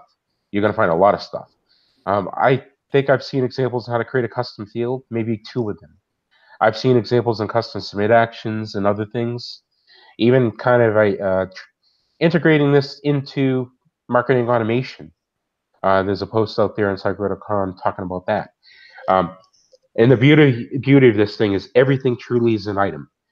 So on Web for Marketers, we had a magical parameters XML thing that you put in some parameters field somewhere, and then it would magically create this stuff for you for like let's say drop down lists and stuff like that. Um, here you don't have to. No, it's not really like that, except for one place where we do have a parameters field, but it's in a different type of context here, and it has to do with submit actions, which I'll get to. Uh, and it's on XML, which is great. It's JSON, but really everything is truly an item. Uh, you have things that are definition items for fields, and then you have uh, fields that inform items that represent your form. And I'm going to show all this, but um, don't worry, I'm going to give a real demo. I'm just showing the stuff I just talked about, but you have the right pane over on your right hand side. If we look at this right part of the screen, you just drag it over to the left, uh, and it pops right into this form builder, right in this pane. Um, the middle part, uh, you know, I'm pointing, you can't see what I'm doing, but the middle part where it's all green is called a page. That's the, I would say, starting point for any form um, is you need a page, and that's where you drop controls onto it or fields. Um, if you look, look over on the left, you can see that we have a new forms root that's a sibling of the content node. Uh, all your forms will get saved there. Um, and then inside of there, you have something that represents a form. So, you know, for instance, if you look at the contact us thing here, you look over on the left, you have a demo form item in a page and it has fields in it and a submit button. Also, it could have other pages that one could be like a confirmation page or something like that. Likewise, we have a new uh, forms root under settings in system that has all the definition items. So you have stuff for fields, submit actions, and validations and things like that. We'll get to that. Uh, out of the box, we have analytics. So by the way, this is turned on by default when you create a form. So you can see things at the form level. So you can see how your, your form is performing and things like that. And then you can see how individual fields are performing. So if you have, let's say, I don't know, an email field and you have a certain label on it, maybe you're not getting a lot of engagement with it. Maybe it's time to change the label or get rid of the, form, the field altogether. So you can see all this stuff. And yes, you can shut this off if you don't want to see this stuff, but why would you do that? You want to see how your stuff's performing. um, all this stuff is stored in a new database in a very normalized structure with just two tables. Um, you can see we have something that saves the form submissions and then stuff that has field data for each form submission. Um, all of this is in SQL Server. So if we look back historically from web forms to marketers up until this today. We started off with SQL Server, then we went over to MongoDB, then we went over to both. You could choose one or the other. And then uh, web forms marketers went to SQL Server, and now we're still in SQL Server. So that's good news. Uh, the better news is if you don't want to use SQL Server for experience forms, it has a forms data provider that you can change and swap out. Um, and you can have that go to MongoDB or CouchDB or whatever DB or a flat text file, whatever you want. Um, if you put in a flat text file, you're kind of crazy, but you could do that if you want. Um, I actually have a blog post showing how to customize that. I will get to that in a couple slides, in a few slides later, but uh, we'll just leave that as it is. All right, so when you go and you start working with this, by the way, there is a an article in Sitecore.com talking about this, but I want to call this out that you have to set up an inside-out rendering. Uh, I think uh, was Kern Herskind that came up with this concept, and he presented it at a user group in the UK. It's basically an inside-out uh, rendering thing. Uh, it's for layouts. Um, the whole point is so that we can have certain timing of when you're, let's say, uh, your controller renderings or other renderings are put into a placeholder and having some of these form helpers here, you see these HTML helpers here, these are for forms. It has to do with the timing of events here so that these HTML helpers can spit out their proper stuff. So uh, this one that renders the form styles will output, you know, uh, styles that you associate with your form. And then there's another one for JavaScript files as well. You can have multiple of each separated by a pipe. I'll show where that lives on a form item, you know, a little bit later. But a little bit more in detail. I'm not going to talk about this because there's documentation that talks about this, but uh, you would set up your layout to look kind of like this in order to get it to work. This is a well-established MVC pattern that people are using today. Um, you need to have this to work, like set up like this, or your forms won't work properly using experience forms. I didn't do this. I didn't follow the instructions like I should have on Sitecore.com and my Ajax stuff wasn't working for it, which is all out of the box with this uh, feature. And uh, Kamruz is like, "Well, you didn't read the documentation, did you?" And he pointed it out, and we I fixed it. But yeah, I'm telling you now, follow the instructions, do it like this, or you know it won't work for you. All right, so we're now back to having razor views on the file system. So Web Forms Marketers, I think it was on 7.2, gave us this ability and then they took it away a little bit later on and everything was baked into helpers. But now we have this. If you want, you can go in and start changing markup in these files. I recommend that you do not do that. And the reason for that is if Sitecore decides to change any of these in future versions and you do an upgrade, either you're going to lose their changes because you did a build with your stuff in source control and it goes over into the website root, or you're going to have a merge nightmare if you're going to try to merge these together yourself. Uh, what you should do, and I'm hoping I can show an example of this, um, you would do a copy and paste, and you would have the new, you would create a new definition item, maybe duplicate something like the section field here, which is just a div, by the way. You would just copy that, copy the, you know, copy the razor view into a different location, copy the section definition item, which I'll show in the in the content tree or let's say settings tree in a minute. Um, and then you would just have it point to your razor view and boom, you're done. You don't have to do anything else. That is a better way to handle these things and, as opposed to changing the markup in these files because you will have a problem. The other thing I love about this feature is that virtually the entire thing is backed by a pipeline somewhere. So there is a processor for initializing it. I haven't looked at it myself. Not sure exactly what that processor does, but you know, if you do discover it, let me know. Write a blog post, send me an IM, whatever you want to do. Send me a text message. I don't care. I'm curious. Um, but uh, you, there is a pipeline to render a form, render all fields on your form, render a field for your form, get the model for your your let's say your razor uh, view right here that I showed you. Uh, register your submit actions, which I haven't really looked into. Execute them, which I have looked into, and I'm going to get into that in a second and then one for submitting errors.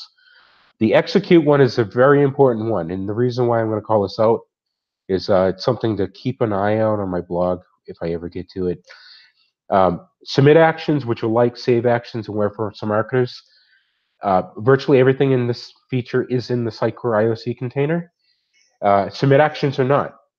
Um, they are created at the execute submit pipeline step. There's a processor in there that uses reflection or uses, I would say, utility class to go create it and use uses reflection to create it.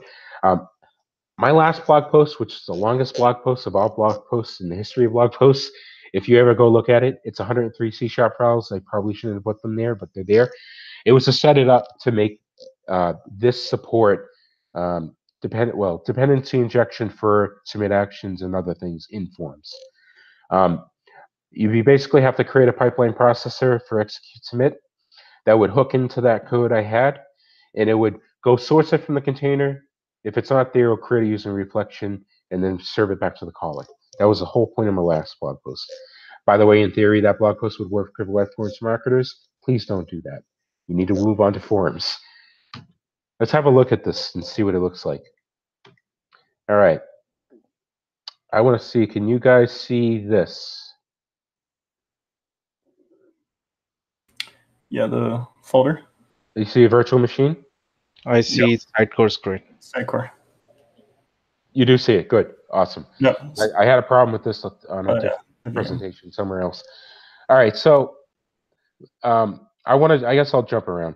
So here we- we're in the system settings and then there's forms.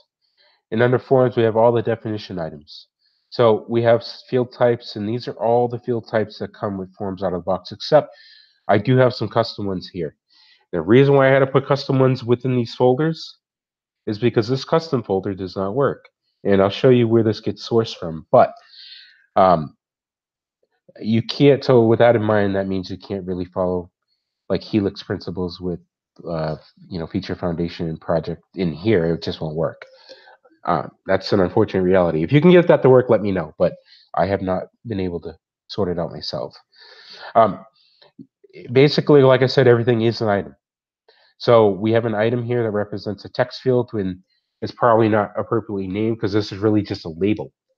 Um, and a label that you can associate, let's say, different HTML tags for it to render out as that particular tag. But you can see everything is an item here and things like that.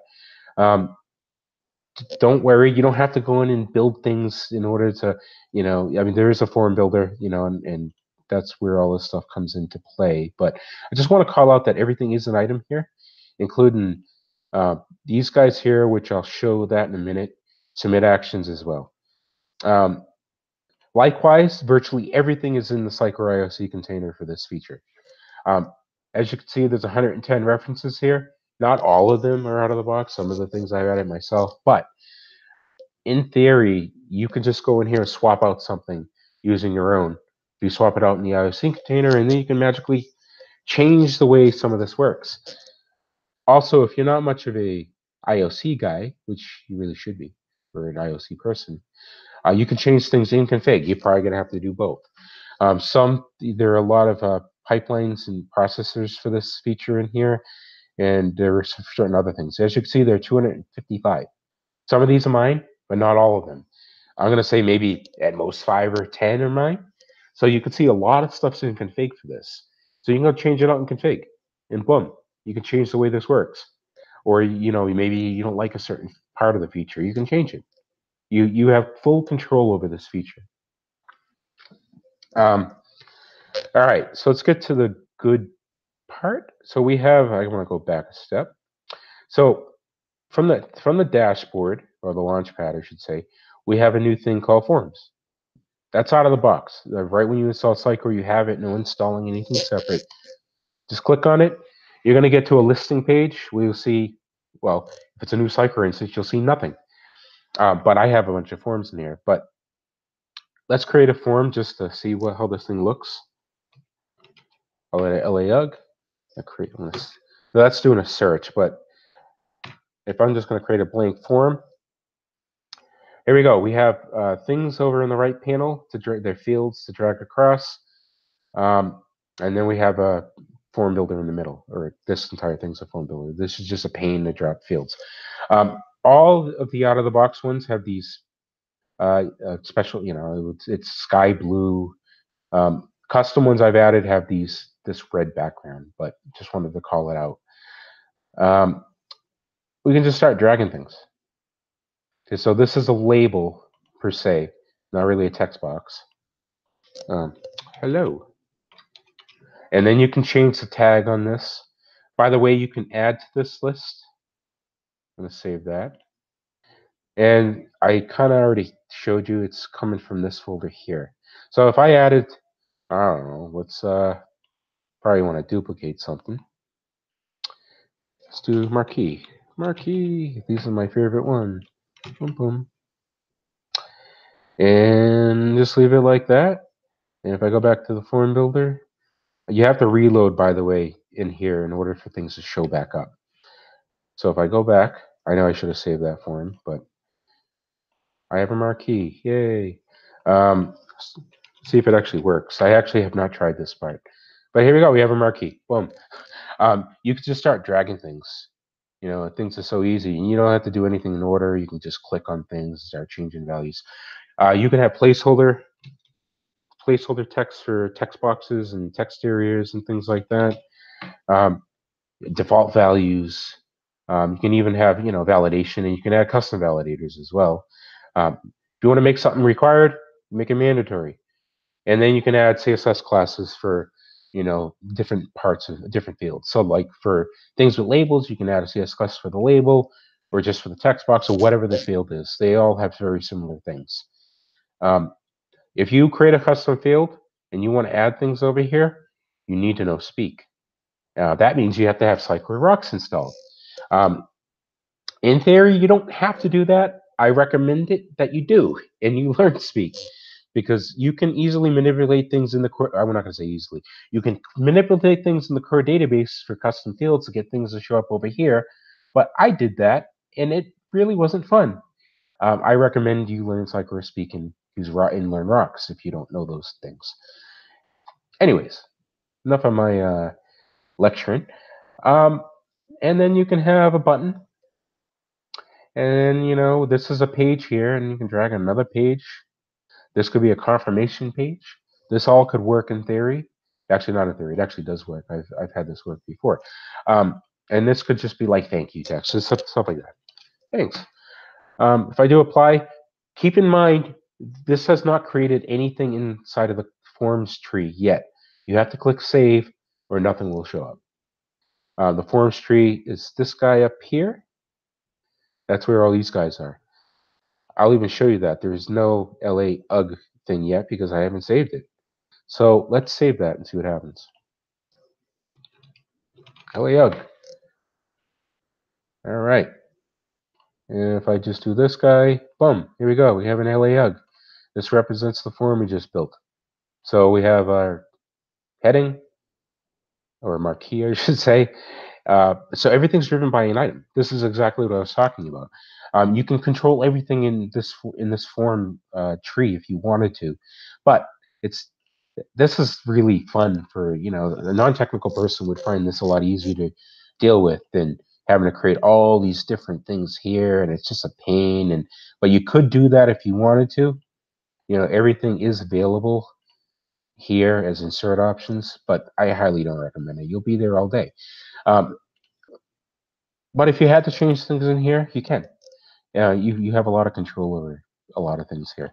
Um, submit actions. So submit actions is something I want to talk about real quick. Um, these are like saved uh, actions in Web Forms for Marketers, but you have some things that come out of the box. Not all of these are out of the box. Um, you can I trigger a goal, or you can a campaign activity, or an outcome, or other things. Some of these things I actually added. Uh, you can redirect to a page and save data. Um, you can see here I have an injectable save data. This is one that actually comes from the IOC container when I was experimenting with the last blog post, which will end up on my blog talking about it further, I'm showing how to make this work in here, but I haven't gotten into it yet. Anyways, a lot of things are out of the box, including send an email campaign message. So this will tie in with EXM. Um, one thing that's missing is a simple SMTP send email. That's not available, and you have to create that yourself.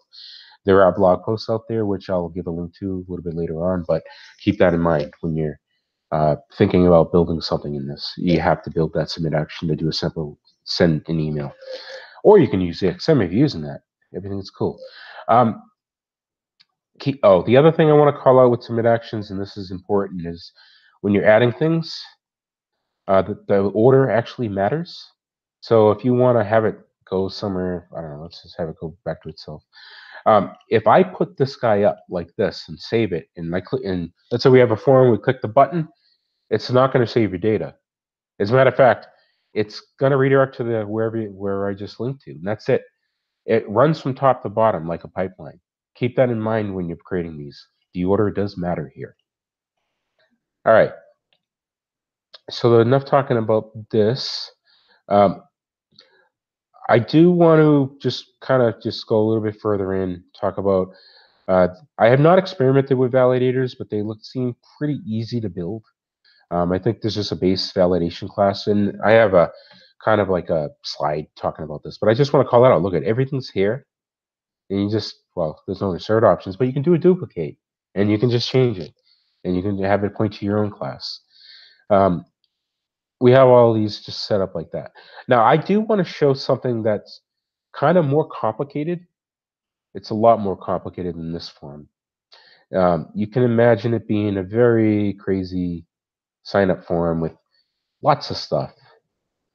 So we can see, who, look at this. Uh, you can see me hovering. There's stuff nested in stuff, nested in more stuff, and more stuff, and more stuff, and even more stuff. And then we have a confirmation, thank you, success message on a second page.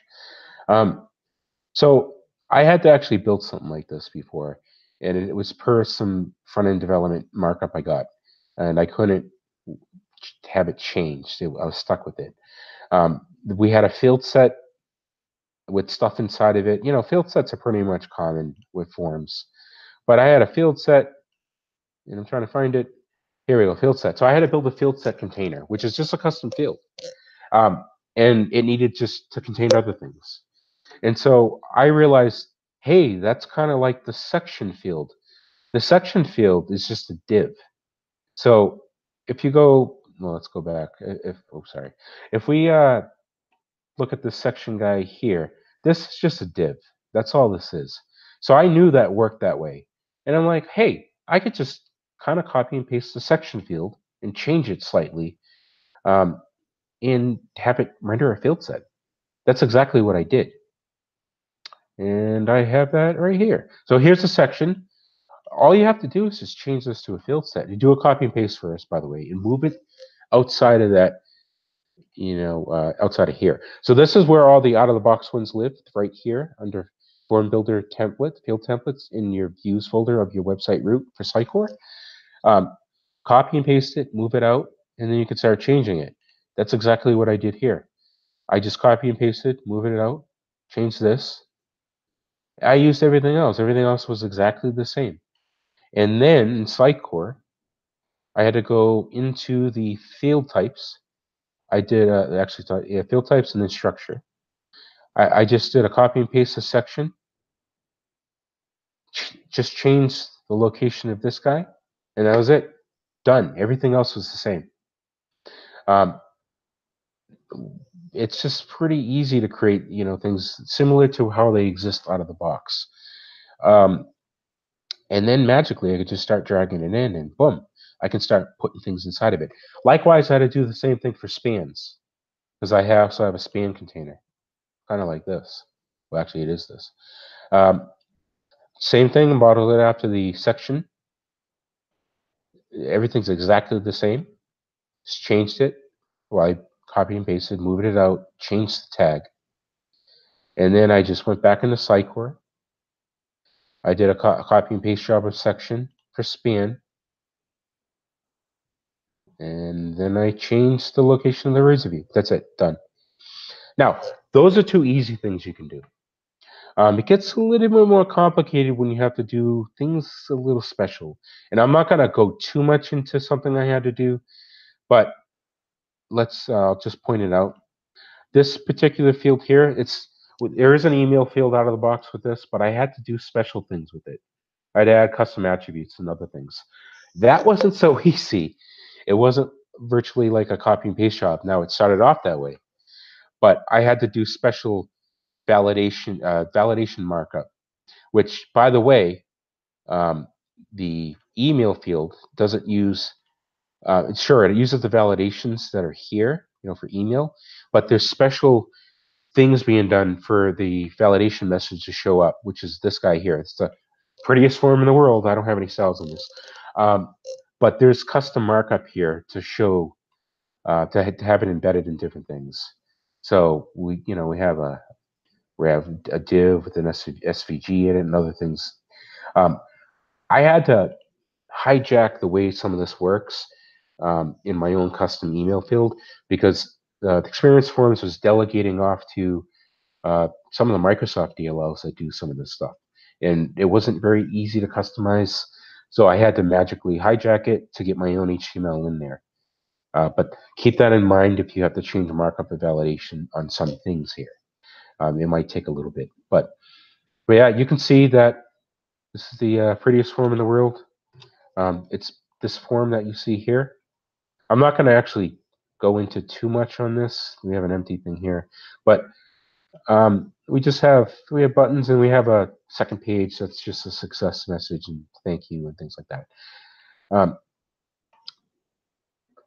so one thing I'm in I'm in Experience Editor, but I'm in preview mode. Um, the Ajax, so you can have your forms be Ajax enabled, and that's actually a checkbox at the form item level, which is this. You can turn that on and it will magically work in Ajax, but I haven't seen it work within the experience editor, even in preview mode. I don't know if that's something I did. I might have changed something that broke something, but you can, you know, when you have it out published on your uh, site, it will be it will work with Ajax, and you don't have to do anything special.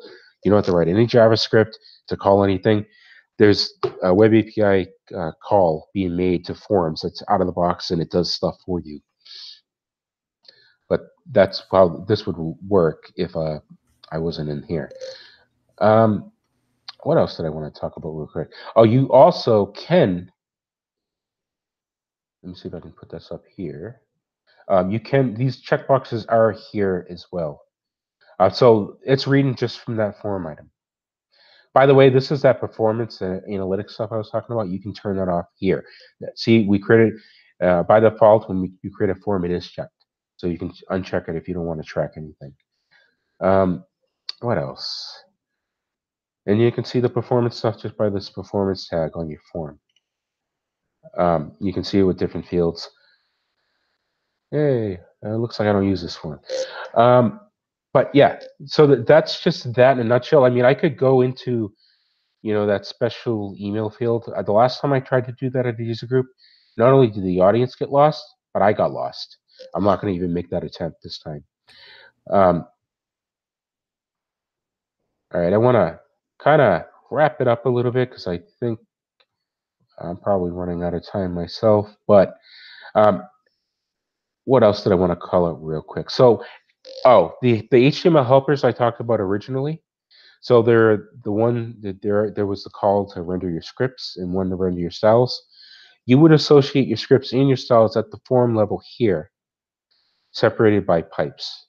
And the same thing would happen in the styles field as well. Oh, by the way, your forms can act as templates, kind of like what web forms marketers used to do. You could specify a form as a template and it would do a copy and paste. The same sort of thing works here like that. Um, you can have a form be a template, but when you create a form based off of a template, it's going to do the exact same thing. It'll do a copy and paste job, so if you add a new field to your template, it won't propagate down to the ones that were created from that template. So keep that in mind when you're creating things, that it won't magically work like a clone. Um, all right, let's go back to the slide deck real quick.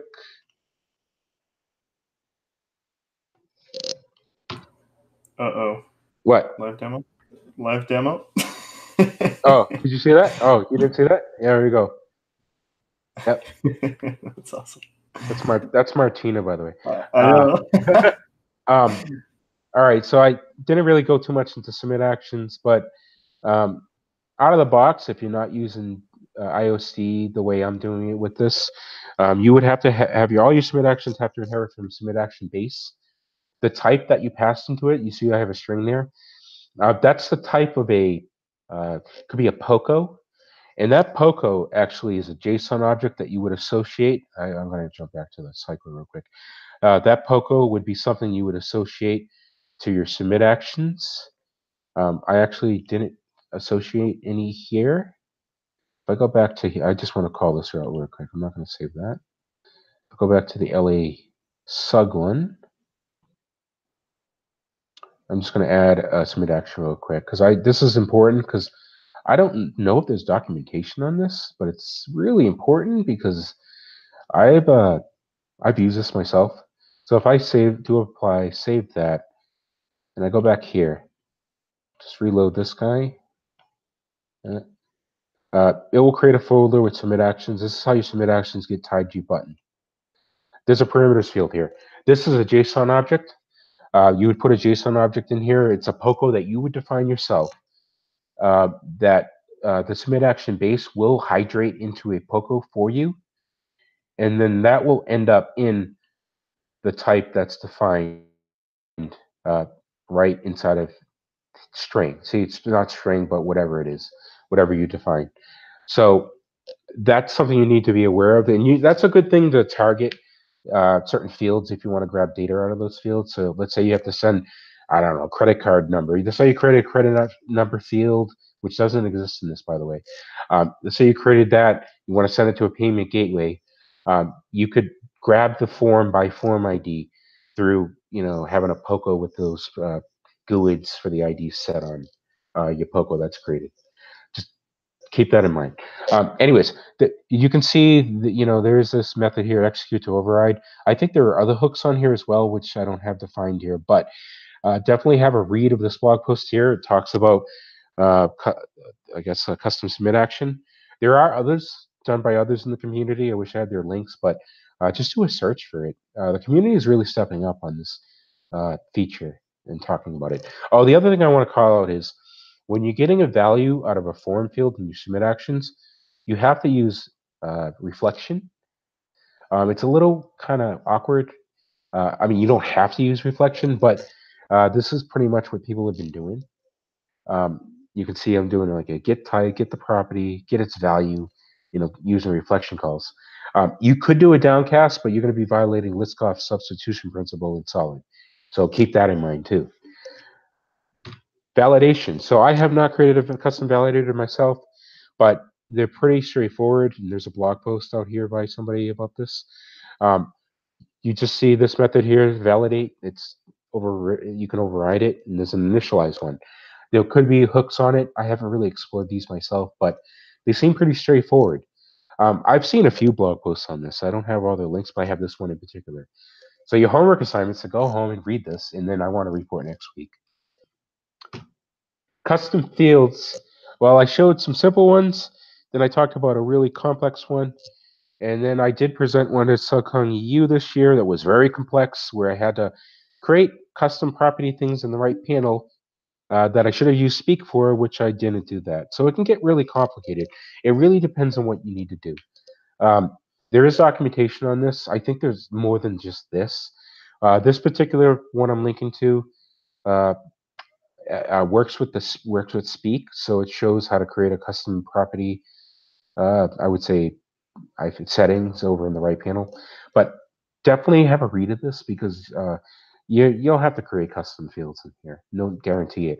Now keep in mind this is 9.0 when 9.0 came out. This feature, was just version one, on 9.1 now it's V2. They've added some other stuff on it that I'm going to talk about now, but it's still not quite where it needs to be. But look at WebForms Marketers. It came out in 2009 and now it's 2018. It, it took a while for it to get where it was. Um, I'll get I'll get to the Sitecore 91 stuff in a minute. Um, encryption. So because uh, you know I wrote a blog post way back when of encrypting data in WebForms Marketers. Um, WebForms Marketers had a data provider that you could tap into and change. Well, so does this.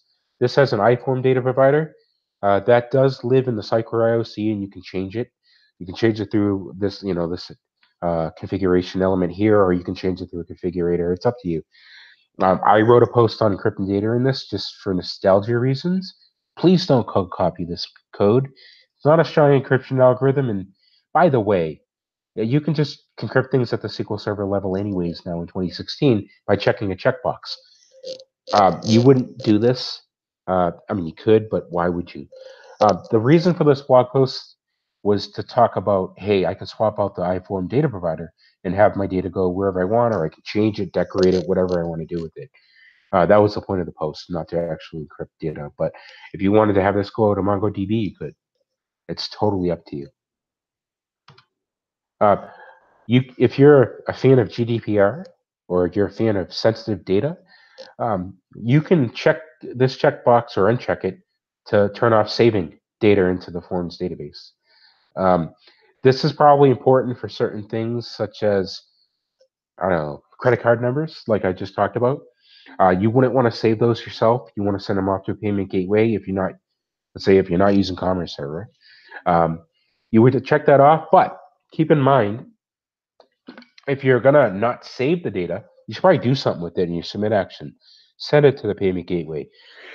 because if you're not doing something with that form value, what's the point of having the field? okay, what's missing in this?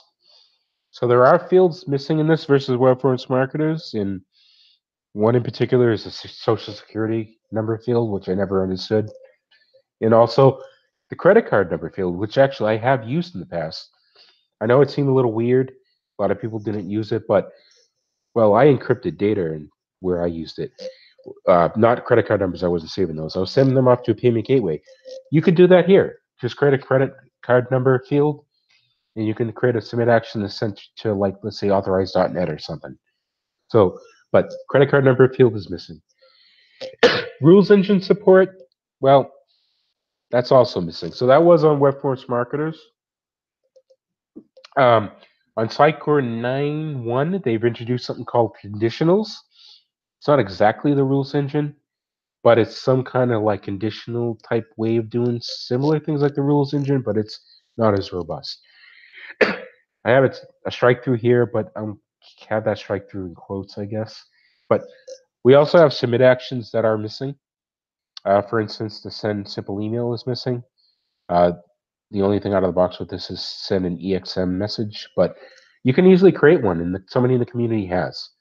Um, uh, go have a look for those blog posts because they are out there, and I think there actually is a module on this that uh, adds uh, this submit action. Multi-site support. So, excuse me. So you, well, on 9.0, uh, you can't create, uh, you can't really, well, let me point out what I'm talking about. and by the way, I'm, I'm under the weather a little bit. So um, if you go, let's go back to the content tree. So there's, you can't, uh, you know, from the form builder, add forms in here for different tenants. Um, in 9.1, which I wish I had an instance 9.1, um, you can select a folder to store your forms in, but it's not in 901 and 902. But you can't create the, I don't think you can create the folders from the form builder. You might be able to, but um, but multi-site support is kind of there and kind of not now. It's not there in anything pre 9.1. Um, there is no workflow support. Uh, there wasn't any of that on WebForms marketers either, but maybe that's something we want in the future. I don't know. Um, you might want to be able to like put your fields to workflow in case somebody changes the label and they, I don't know, misspell it and then they catch it and somebody else catches it. And also, there's no event queue in this. So WebForms marketers had one. This doesn't have one. Uh, maybe they will tie into something that EXM is using because it has its own. It would be nice to centralize this into one event queue of some sort, but right now there's nothing. All right, 9.1, I kind of already talked about the new conditionals. Um, I, I, do have a screenshot on that, but uh, there is a way to preform uh, form fields when you come into a, a, page when you get on it for the first time. So there is a, it's like a data provider for, it's like a pre-filled data provider that you can uh, cut, you can create one, and it will pre-populate your fields. Um, I haven't looked into this myself yet, but it seems promising, and and maybe somebody will create one for query strings, and that'd be awesome. Uh, multi-site support. Well, I'm gonna kind of say it's kind of there, kind of not. Uh, you can't create the tenant folders, like I said, from the form builder, but you can save uh, forms into those tenant folders when you create them in the forms tree. And conditional logic. So this is what conditionals looks like, um, and this is done at the form level. So when you're in the form builder, you can actually set all this stuff, and what it will do is you could say, hey, if this value is something in this drop list or whatever, I want you to enable this or disable that or hide this. if you're hiding stuff, you can't hide a page. You can hide a section, and you can hide other uh, fields on, on the form, but nothing uh, at the page. You can't do a page. It just won't work. Um, I've seen this in action. I wish I had a nine one instance to show you, but you know, it's not really the rules engine, but it's something. I don't know if you can customize the way this uh, operates, but you know, that's definitely something for future blog posts for somebody. Maybe me, maybe you. All right, so uh, the community has written a lot about this stuff. I mean, I've written a few blog posts on this myself of swapping things out. Honestly, you can probably swap everything out because everything's in the IOC or in config. Uh, Rodrigo Peplau, you know, in Brazil, he's an MVP there. He actually did write a send email action, or you know, send in a simple email. Have a read of his blog. Um, and then Bart Bovendeerd, actually, he wrote it. I think this is a module on uh, GitHub he has all kinds of customizations for this, so hidden fields and other things, and including another send email action. And there are actually a lot more blog posts that I couldn't list on here because they wouldn't fit. But definitely just go have a read on the Sitecore Slack. You know, we have a web forms hyphen forms uh, channel. That's actually a dual channel for both, for either web forms marketers or Sitecore experience forms. So if you have questions, just go there and ask. People have been really helpful in there. A lot of people are experiment with this with this and using it. Oh, and if you want to migrate data from web forms marketers over to forms, well, you can't. and the reason why you can't is because they're two different things. It's kind of like if you want to put horseshoes on a car, you can't. Why would you? Uh, everything is brand new. So um, you could, I mean, in theory, you probably could build something yourself, but you're going to probably waste six to six months to a year trying to do it because every you might have customizations that you're gonna have to handle. You know, you're gonna have to wedge it into a new data structure. I just think it's it's an opportunity for you to take a look back and say, okay, I didn't really build that the right way. I'm gonna clean it up in this new version using experience forms. So do that. I think it's better. And you, let's face it, if you're building this for a customer, or, or even if you work internally for a customer, you're building it for somebody. They're gonna appreciate it if you build it again, and maybe you'll build it better this time. I don't know. Anyways, that's enough of me blabbering. Are there any questions? Let me check the socials. Um, but I do have a few questions. Let me see. Awesome. Uh,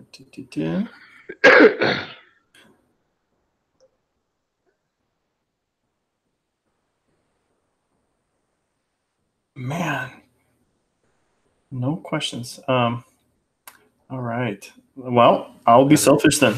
Fine. Um, I actually got a I got a handful of them. Um, submit ac- actions. Uh, let's say one of the actions bombs. Would it bomb prevent? Oh, let me see if the camera catches up here. Ooh. Oh, do you want me to go back to my screen? Oh, no, no, no, that's fine. Oh. Um, uh, so let's say if one of the, one of the initial actions bombs, does the whole pipeline bomb? Does it stop the other actions from executing? They, I believe they do. I think it, it just fails the entire thing. yeah, I don't, because um, I've had that happen. I now I don't think there's documentation on this, but I've uh, when I was doing something, it didn't go to the next one after the custom one I was building. It blew up, and that was it. Damn. So yeah, I mean, there might be a way to customize it though. That you could tap into it because uh, everything is customizable, but we have to customize it. Yeah, yeah, I'm sure. Sitecore, if you're listening, please don't let that prevent other actions. Please change that because we we had um, we we noticed a lot of that in on the commerce side too is uh, when you're in the pipeline, one of the become blocks, not processors on conversation side, but Yeah. one one of the blocks blows up and pipeline just exits and sometimes it exits with an OK code. All kinds of things. Cool. Yeah. um, now Ajax. So I mean, let's take a minute and appreciate that a checkbox is all it takes Right. to enable it. so that's awesome. Um, and it, it is using the Microsoft Ajax libraries, right? The um, uh, I believe so. and jQuery. Yep. Yep. It is. Okay, so it's sending the markup back and forth, not Yes. It's JSON. sending, the, it's sending the it's sending the markup. Okay, that is another thing, Sitecore. If you're listening, please, that would be awesome if we could switch that to just JSON. Markup is heavy. Right. Um, then, all right, these are the most important questions: Visual Studio or Visual Studio Code. For building this stuff, or you mean for me in In- general? In general, I use I use Visual Studio, man. I'm old school. I'm old. But I noticed you got code up, like you were Well, showing. that, that I I use that just to present. Ah, I'm trying to be fancy. That's Yeah, I was like, I, I can't switch over to code just yet. I guess. No, I'm not. us- I'm not using code for development. I'm just. I use it for presenting because I don't know. It was just like easier for me to spin up because I remember that instance of VS I had on here. It had resharper and things were slow, and I'd have to disable it. And, you know, I'm just like, I'll just spin this up. There you go. And then I won't get them confused because I don't want to accidentally show something I shouldn't show. That was the point of that. So I can tell by the color. Clever. awesome. All right, and then the, this is the most important question: Do we have a King of Memes title in the Sitecore community yet, Uh, a king of memes. or I an always- unofficial? title? I always thought it was Stephen Pope. I, but- I thought I- so, but after seeing your deck, I don't know, man. I I, I would uh, I would argue. I don't know. I think uh, I've seen uh, you know, my previous decks. I mean, if you remember when I presented last year, I had a meme on every slide. Uh, this was pretty close. I, I, think, I, think, I think we missed some slides. So Kamruz and Kamruz worked on this deck. So he and I pretty much have the same kind of uh, I don't know what would you call it, uh, way of doing things. And so, like, we typically will have a, either a meme on every slide or almost a meme on every slide. That's great. That's awesome. Cool. Um, all right. Well, uh, let's go ahead and uh, move on. Anything else, Mike? Any- Nah, I have nothing else. Uh, just yeah, have a happy holiday, everybody, and uh, it's been a great year. And get on Slack if you're not on Slack, and you know definitely help out others in the community because uh, we can't move forward unless we help each other out. Exactly. Perfect. Thanks, Mike. Good presentation. I'm, right. I've been just uh, dabbling with forms. I haven't really gotten into the the deep nuts and bolts and and dependency injection yet with with the forms, but uh, I mean, it's definitely an improvement. God, it's uh, over Yeah. the web forms. Jeez, it's Yeah, you know it's it's getting there. I mean, it's going to take a little bit of time because it's brand new. But. Yep. Cool. Well, uh, thank you. And we're moving on to Srikanth. Uh, are you awake there, bud? You got your ears on? I'm here. And thanks for uh, hanging hanging out for a couple hours with us. Um, Not a problem. So Srikanth is going to talk to us about Sitecore Commerce minions. Um, uh, like I was saying before, uh, they're very fun to talk about, especially with a client. Um, you definitely get a chuckle out of it. So Srikanth, go ahead and take it away. Sure. Hey everyone. Uh, so this is Srikanth Kondapalli, also known as SK. Uh, glad to be part of my first uh, presentation at the LA Sitecore User Group Conference. Uh, uh, so in today's topic, we'll be discussing about uh, the Sitecore Commerce minions and how they. One second, let me start my screen share. Whoa. Uh, are you guys able to see my deck? Yes. Okay, perfect. Uh, so I don't have much on the deck because I want to actually show you what is exactly it takes for a minion to run and manage orders.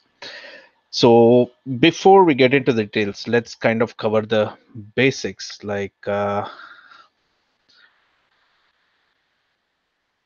okay this is these are the steps that we'll be discussing today like uh, what exactly is a minion when it comes to sitecore commerce? And uh, how we configure them? And uh, since our topic or how to use the minion for today's topic would be to how we are managing it for orders so we have to go quickly kind of get an idea of how orders are managed in sitecore and how are we using minions and where is the connection for between them? So minion is nothing but it's a terminology that given by sitecore but basically it's nothing but like uh, an asynchronous job that is running in the background from the minions environment in order to process any of the steps we need to we need to handle.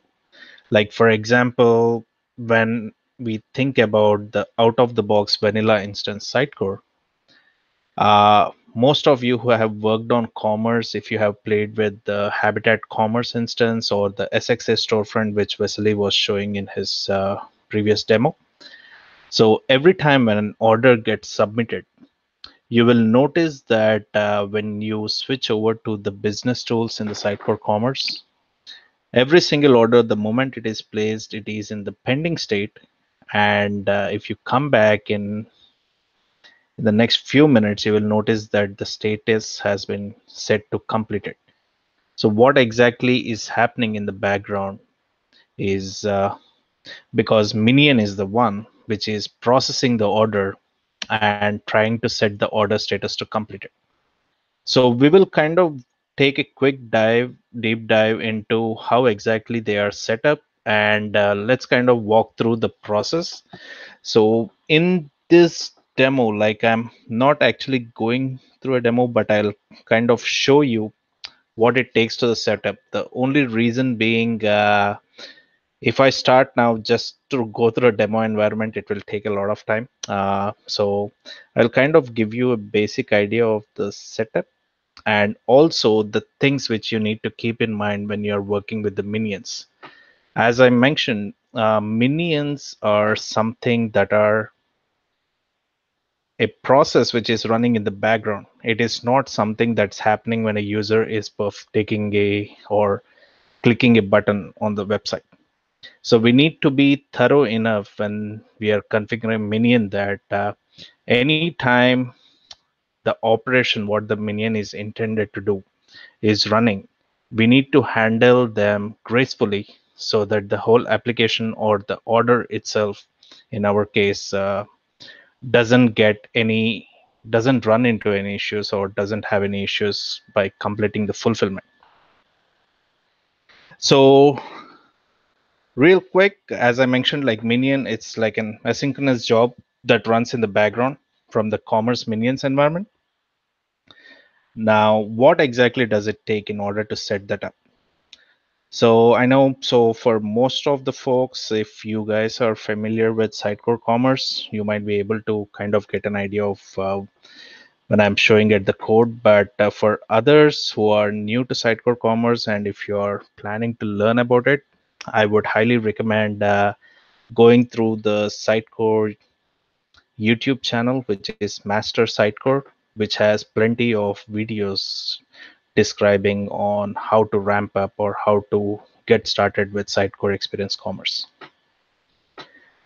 So, uh, so looking currently, uh, since this is my local development environment, uh, I will show you or I will show you the whole implementation has been done taking the authoring environment into consideration.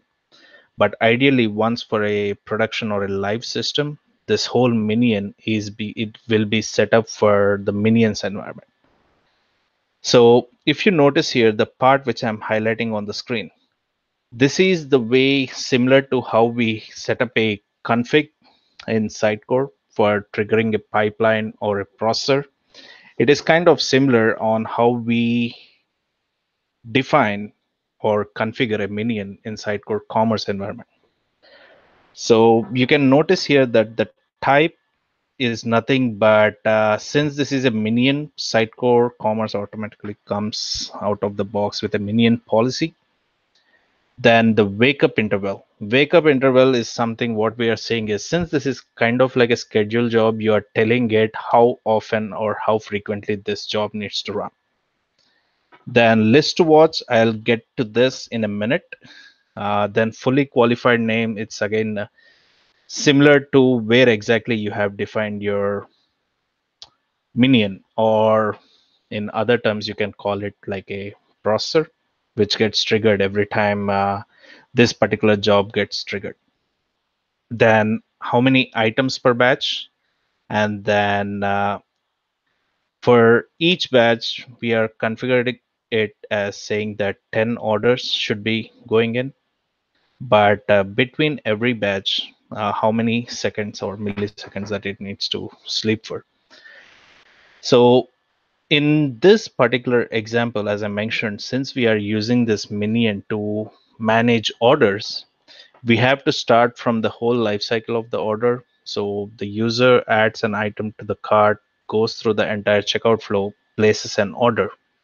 So that once the checkout flow is completed, that's when the order cycle starts, which is the initial state of any Sitecore commerce order will be status as pending. Now, since it is pending, then why did I say that the list to watch is pending orders? So the way Sitecore actually filters out uh, different types of orders is uh, based on order lists so i don't uh, if you guys can see my management studio here i kind of showed you a quick example of if you go to the order list and uh, look for a list name called problem. So it is listing as all the orders that ran into a problem. So similar to this uh, if Sitecore has uh, a known orders list policy where you can see what are the different types of list names that Sitecore maintains. Like for example, when an order has been successfully completed, they go into the completed orders list, any order that has been canceled or any order that runs into a problem or orders that are put on hold. So in our case, uh, since the order lifecycle, the first status is pending, we set up the minions by saying that the list name it needs to be looking into would be the pending orders. So going back to the code, so once this is set up, since you are handling or updating the environment JSON, you need to, of course, do a bootstrap. And once the bootstrap is done, next time when you are the environment which you are working against. Once it gets initialized the minions automatically get started to work. Now what exactly is happening in this particular minion? So let's take a quick look to see that. So again for people who are new to commerce i definitely recommend watching the youtube channel for how to create the plugins or how to create the blocks as part of the Sitecore Commerce plugins. These are really important in order for you to understand and implement your own. So the moment the minion is triggered, the first thing it will get uh, accessing is this particular class in which there is a task in which we are saying that okay you have already configured your minion. And in this minion you are saying that okay go and get me the list to watch. So it already knows that since you configured it saying that i need to watch for the pending orders. So it will go to the database look for all the orders that are in pending state and gets the list of all those orders now for each of them, if you notice here, so for each of them, we are trying to review the order and do the necessary operation, whatever we want to do. So out of the box functionality, even though the whole functionality exists in there, uh, it doesn't have any actual real case implementation. But uh, once when you consider an actual e-commerce platform, every order, whatever is getting placed, eventually they have to go through processes like uh, order fulfillment, where they have to send data to the ERP system or send data to a shipping provider uh, or get status updates like whether an order has been shipped or an order has been delivered or an order has been cancelled. So all these are happening after an order has been placed. So minions would be the right way to manage all these uh, operations. In our case, like uh, you can take this as a startup kind of an example, but uh, in our case, what we are taking is like it's a POC of saying that I placed an order. Now I have to go send this order information to the ERP system, fetch whatever the ERP system has to give back in the response, store it on the order, and move the order to completed state. If there is any issue during this entire process, just move it to problem state. So seems pretty straightforward, but as I mentioned, since this is a background process and you need to take into account like how many orders are getting placed per minute on your environment and you need to handle them gracefully. Otherwise uh, even though the order gets placed successfully on your website they might never go through the fulfillment or there might be some issues delivering or reaching the customer. So this is pretty straightforward. What we are saying here is once it gets the list of all the orders like similar to what you're seeing here when we look at the order list which is pending orders it has the list of all the order entities. It grabs this list and then now we have to process each of this order. For that what we did is uh, we created a pipeline of our own so pipelines are these are something similar to the pipelines in sitecore world as well where sitecore pipeline can execute like multiple processors. Each processor does its own job and then moves over to the next processor. So you can say the commerce pipelines are kind of similar, but uh, here the commerce pipelines, instead of having processes, they have something called as blocks.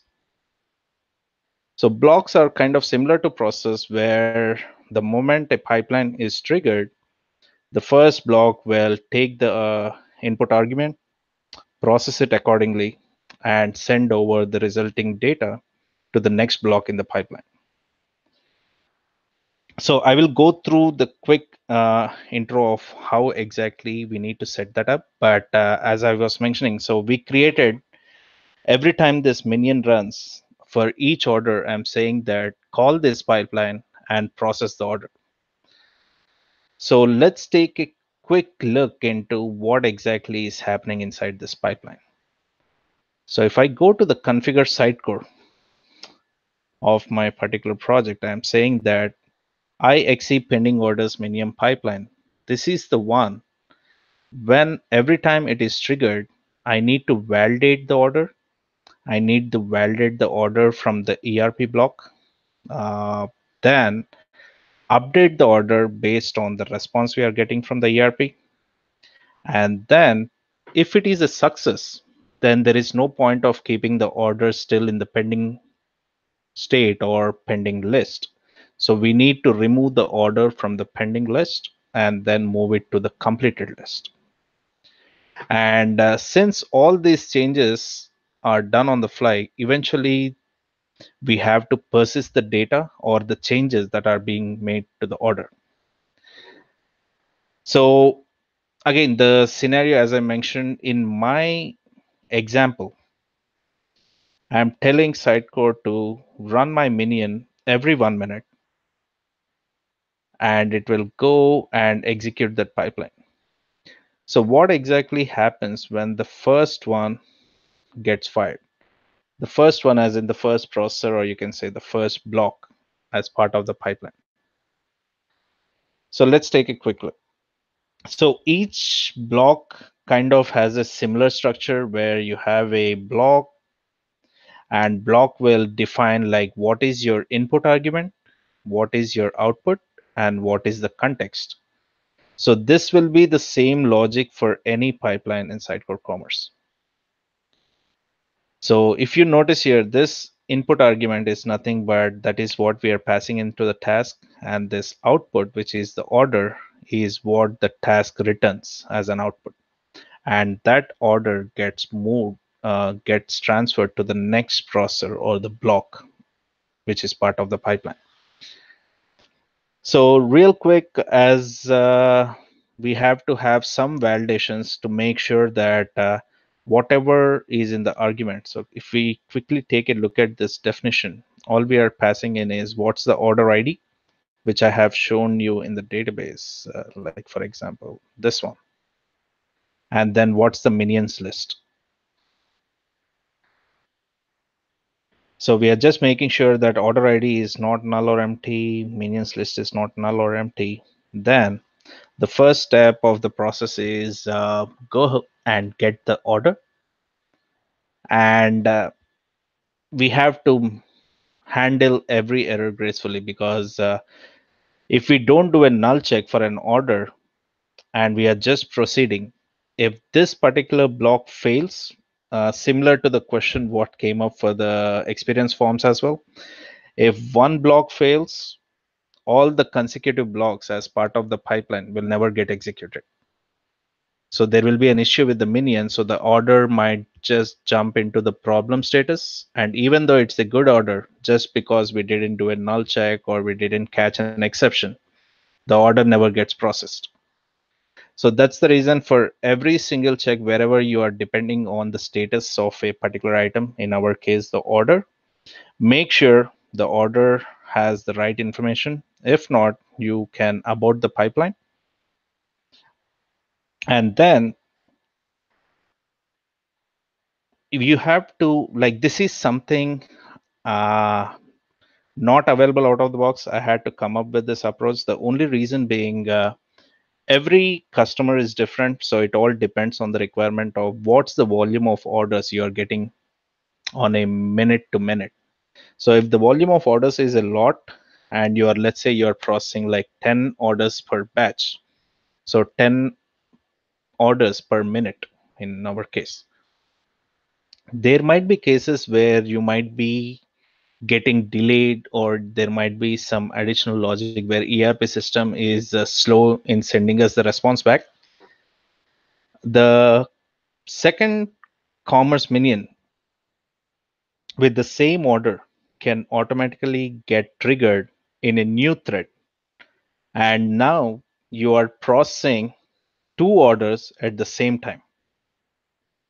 So in order to avoid that, where I had some issues during with the concurrency. So what I had to do is for every order, whatever I'm trying to process, I want to set the order status from pending to processing so that even if a new minion gets uh, triggered and I'm it's about to process the same order, I can make sure that okay, this order is already in the processing state so I can ignore it and move on to the next order.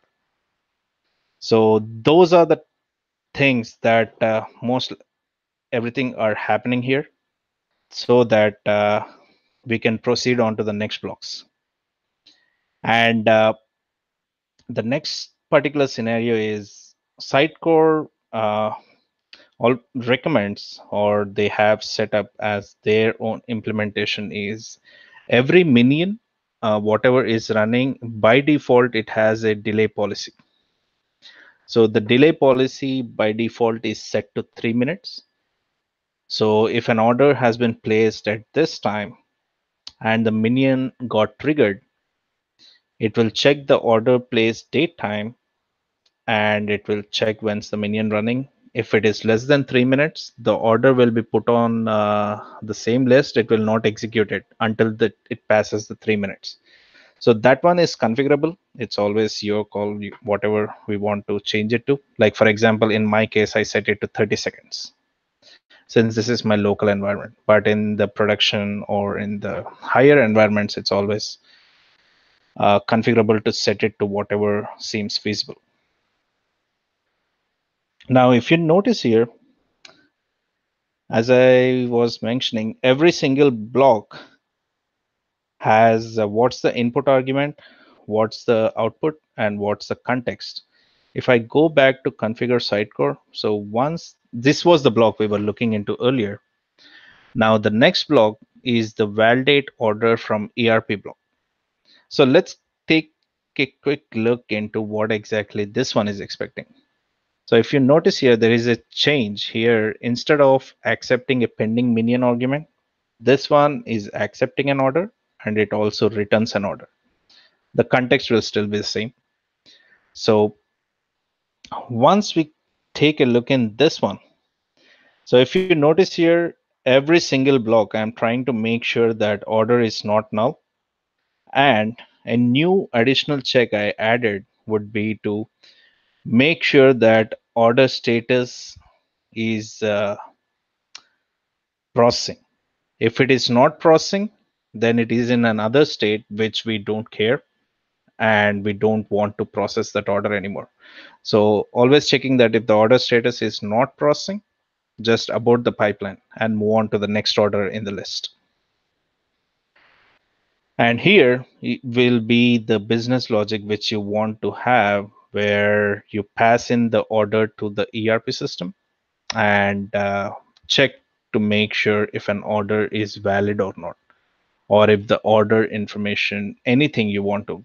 There are multiple things that uh, ERP system holds, differs from customer to customer, but it's more like a sanity check to make sure that everything related to this order is good to go in the ERP system. Then going back to our next block in the pipeline is to update the order with the ERP system. Now from here, if you notice, the pattern seems very straightforward where this one is again accepting an order, returning an order. And uh, we are doing a null check, making sure the order is in the processing state. And then this is the place we actually go and uh, retrieve the details of an order. Like for example what are the different types of items that are part of this order? And what is the information that the erp system is requesting for? So all that pieces can be handled here. One second. So right here. So let's say like i worked on one of the scenario where even though the order has been placed successfully in Sitecore, we have to submit the entire order information to the customer or to the client's ERP system, where ERP system kind of validates and makes sure that everything is good to go. And it returns back with a order confirmation number and uh, that is a sign for us saying that everything is good to go with the order and the order has been fulfilled successfully. So it's kind of it's one of the example but uh, again requirements can differ from each customer or each client. So you can add that business logic here. And then just for demonstration sake i kept like if contact component which is nothing but a component on the order which holds the customer information but ideally it can be anything based on your qualification condition. I'm saying that uh, okay if i successfully got the order number let's say for example you are saying that go and get me what's the current transient membership component. That's what the component is called uh, which says that this particular entity should be part of the pending list or part of the completed orders or part of the problem orders so ideal scenario of uh, moving an order from one state to an oh sorry one list to another list is to go through this process where go and get the component and make sure it is not null and then set the status of an order to completed. Again, these order status policy is something out of the box where you can see that these are the different types of uh, status that Sitecore provides out of the box, where the initial state is pending, then it is released, then it is completed. On hold, uh, if I have to explain, on hold is the case where once an order has been successfully completed and then something has changed like let's take an example where a customer calls the customer care rep of the company and says that hey i accidentally ordered a wrong item. Instead i want this item.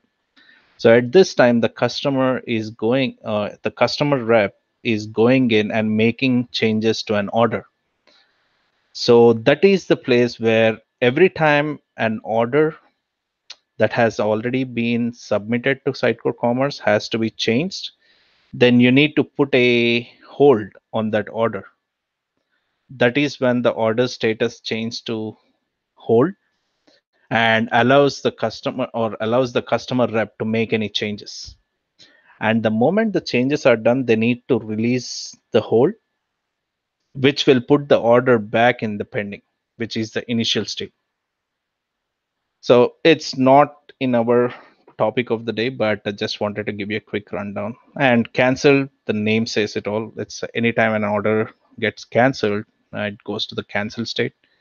Problem, this is something for handling cases where something went wrong with the order and uh, we cannot process it.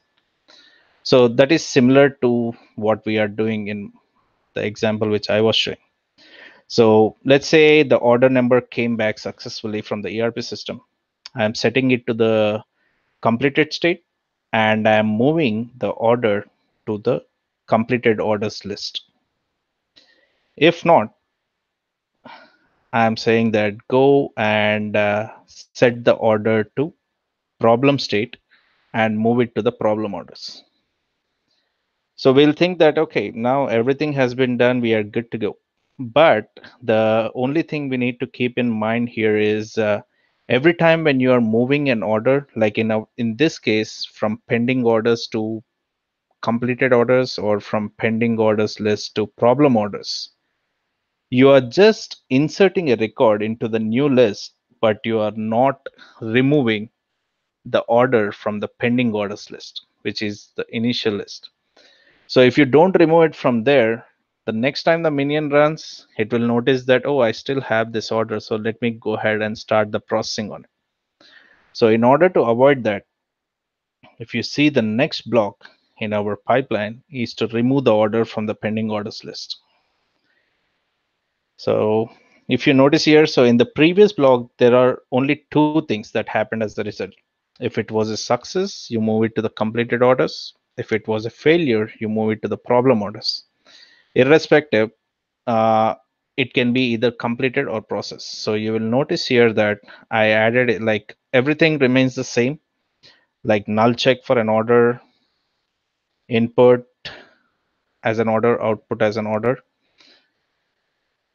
if you notice here i'm saying that if the order status is not completed or not problem then you need to abort the pipeline if it is then just go and remove the item from the mini pending orders list. That way we don't have the same orders sitting in the pending orders list and as well as the completed orders list.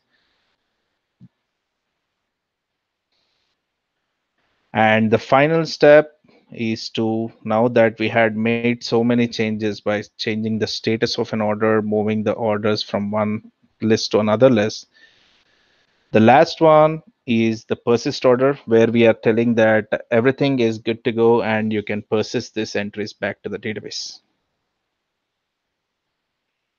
So this is a quick rundown. I hope uh, I didn't go too fast or people who are new to commerce were able to grasp this.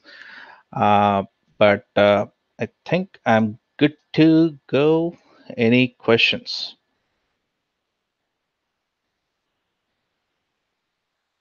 let's check. Let's see. All right. Social. Ooh. Like on my camera adjusts to light, it makes me look like coming back from some parallel universe. All right. Um, that was a lot of information. That was a lot of information. Yes, that was a lot of information. For people who aren't familiar with commerce, their eyes probably and ears started bleeding. That was like, man, I can imagine. But um, for for the people that aren't uh, who are in the space, uh, this is very good information. Will you be? Uh, I don't see any questions on on social. Will you be posting um, everything that you showed us on on the web somewhere for people to access? Yes. So there is a blog post that has been uh, in works. So most likely by end of this week or next week, uh, you will be seeing a blog post, which I'll post it on social as well. Excellent. Um, what, uh, there's uh, there's one question I, I had in mind. I was going to ask you. Um, oh, um, error handling. Mm-hmm. Error handling. So. Uh, since minions run in the background, it's very easy for them to air out, and uh, you will never know what happened, and they might even come back okay, but it, it actually blew up, something went wrong, uh, it didn't uh, properly return the code. Uh, I know there was an issue with Commerce Commander, mm-hmm. Right, that you guys had on the project. Uh, can you maybe talk a little bit about how you solved the problem, how you ensure you, you kind of got the errors to pop up and you, uh, and not just silently die on you. Sure. So when you think like from the minion standpoint, right, it's not just the minions, but ideally any operation that's happening in commerce, it is actually going through a pipeline, as I mentioned. So pipeline, like a series of blocks, if we don't handle the error, uh, the obvious way is either to return a null or abort the pipeline. So the main concern comes up is if there is a other pipeline which is waiting for a response from this active pipeline which we just aborted, it will never get kicked off. And because of that, we don't know what exactly went wrong.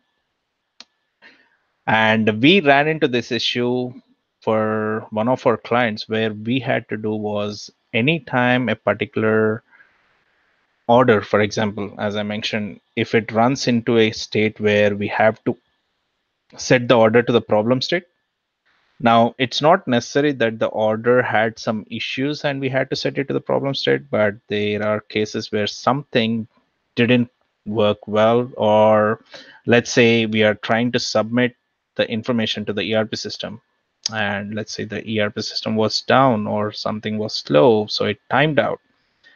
So it doesn't mean that there was an issue with the order. So what we did is anytime when we are setting an order to the problem state, we kind of created an email block in order to send it to the client directly saying that hey this is the order that has been moved to the problem status could you look into what exact because we add all the error details in there. If they feel like everything is good to go there was just a glitch we have built a feature for them where they can uh, move the order back to the pending status.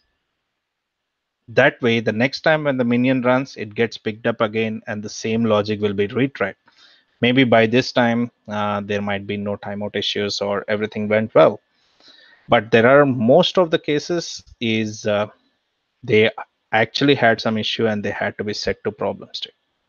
But uh, as you mentioned right like uh, it's a background process. So if we don't handle the errors or exceptions it is very easy to lose the state of the orders.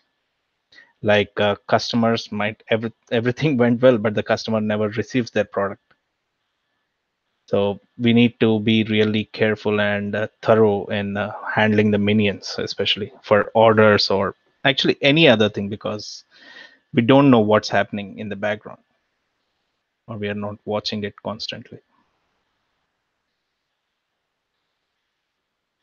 Yeah, errors uh, errors on ecom sites cost a lot more. Yes, on the marketing side. so if you get uh, if you get to an implementation where you're getting uh, hundreds or thousands of orders per minute, you know, if you got a problem, that's going to back up real quick, and that's going to create a just a storm of problems. So proper error handling notifications is very, very, very, very important with minions. Um, by the way, we also got to disable that default one, right? If we want to implement oh. our own, we got to disable the the one out of the box because it'll just set them to complete. that's that's true. Actually, I had that on my list, but accidentally it slipped my mind. Yes, so Sitecore Commerce out of the box comes with a minion that automatically sets the order status to initial status pending and moves it from pending to released and released to completed. But it's just plain operation, so it is not going through any fulfillment or not sending data to the ERP. So my advice is if you really want to make use of a minion, turn off the out of the box ones and create your own minion. You can take that as a reference. That way it is easy for you to handle it rather than changing the pipelines that are available out of the box and uh, easier for the upgrade in the future. Excellent. All right. Uh, well, thanks, Srikanth. That was that was great. I remember I was implementing my first order uh, export with minions, and I just like with a lot of things with commerce, um, you know, I had to do a lot of decompiling, trying to figure out how things work and how to, you know, proper statuses, what's what's all out there, what you know you can and cannot do, what you should do. Uh, so this code will definitely save a lot of time to for someone who's doing it for the first time. So this is this is great. Um, um, um, I was wondering what you were going to uh, talk about. This is a lot more than I, I, I thought. this is awesome. This is really cool. Yeah. Actually, I had to cut through some of it because I wanted to actually run a live demo too, but uh, it will be too much for one session, to be honest, uh, because uh, I was kind of expecting people there will there will be people who don't know or don't understand Sitecore commerce terminology. So it will be like going off their head. So exactly. You know, this is it, it's always like that. The case with me, especially, eh, or the case with our uh, symposium presentation. You always want to show and talk you know about yep. it you you want to kind of share all the information that you you know with the community to make it easier yep. for someone to kind of uh, do the same thing and uh, instead of uh, making the same mistakes and just follow your steps and you know um, uh, help the community out. But it's you know then you end up just giving way too much where it just overwhelms people. So that's that's that's awesome. I think this is great. I'm looking forward to the code. By the way guys we'll we'll post a link to all the repositories, links to all the repos that we, we talked about, and all the all the code uh, and slide decks in the video comments on the YouTube uh, channel. Uh, I'll also do a post on CMS best practices. Uh, SK, you can also you can also probably blog about this. Just uh, you know reference the video. So uh, wherever this video will be referenced by the three of us, we'll make sure to post all the links that we um, about what we talked about. So, uh, so this was this was great. So we talked about the blockchain. Uh, we looked into Sitecore forms. I'm looking forward to actually working with those. I think we have a project coming up. Um, uh, looking forward to migrating away from uh, web forms for marketers, and uh, uh, a lot, a lot of good information on Sitecore Commerce order export. A lot of good code that I saw. By the way, that's that's that's great. You guys really did your due diligence with all the status updates and list memberships and things like that. So it's, it's very important. Um, awesome. So thanks uh, to everyone. Uh, looks like we got a couple of troopers still with us. Uh, if you're listening, thank you for uh, sticking around. Uh, uh, I know this was a long one. we ran for three hours. Man, that's definitely a long one. I'll, I'll, I'll make sure to post shortcuts to the sessions to um, to each presentation in the YouTube video so you guys can skip right to it. So if you're interested in commerce, I'll post the link directly to uh, Srikanth um, presentation. And uh, as always, uh, uh, post and share and help out the community. Uh, we got Slack, uh, tons of uh, Slack uh, communication going on always. Uh, Stack Exchange. Uh, gosh, we got uh, Sitecore community uh, forums, online Twitter, you know, blogging. Anyways, keep on contributing. Uh, if you guys have any questions on anything that you really saw, reach out directly to us on any of those channels. Ping us on social. We're always there on Twitter. Reach out to us directly. Um, uh, with uh, any questions or uh, or if you have an idea for a project around anything that we talked about, also feel free to uh, ping us. I'm personally I'm always happy to help uh, with anything that I release out there, help you get on board or set up with blockchain. Anyways, so without further ado, we've taken enough of your time. Thanks for watching, listening, wherever you are, whatever time of the day it is.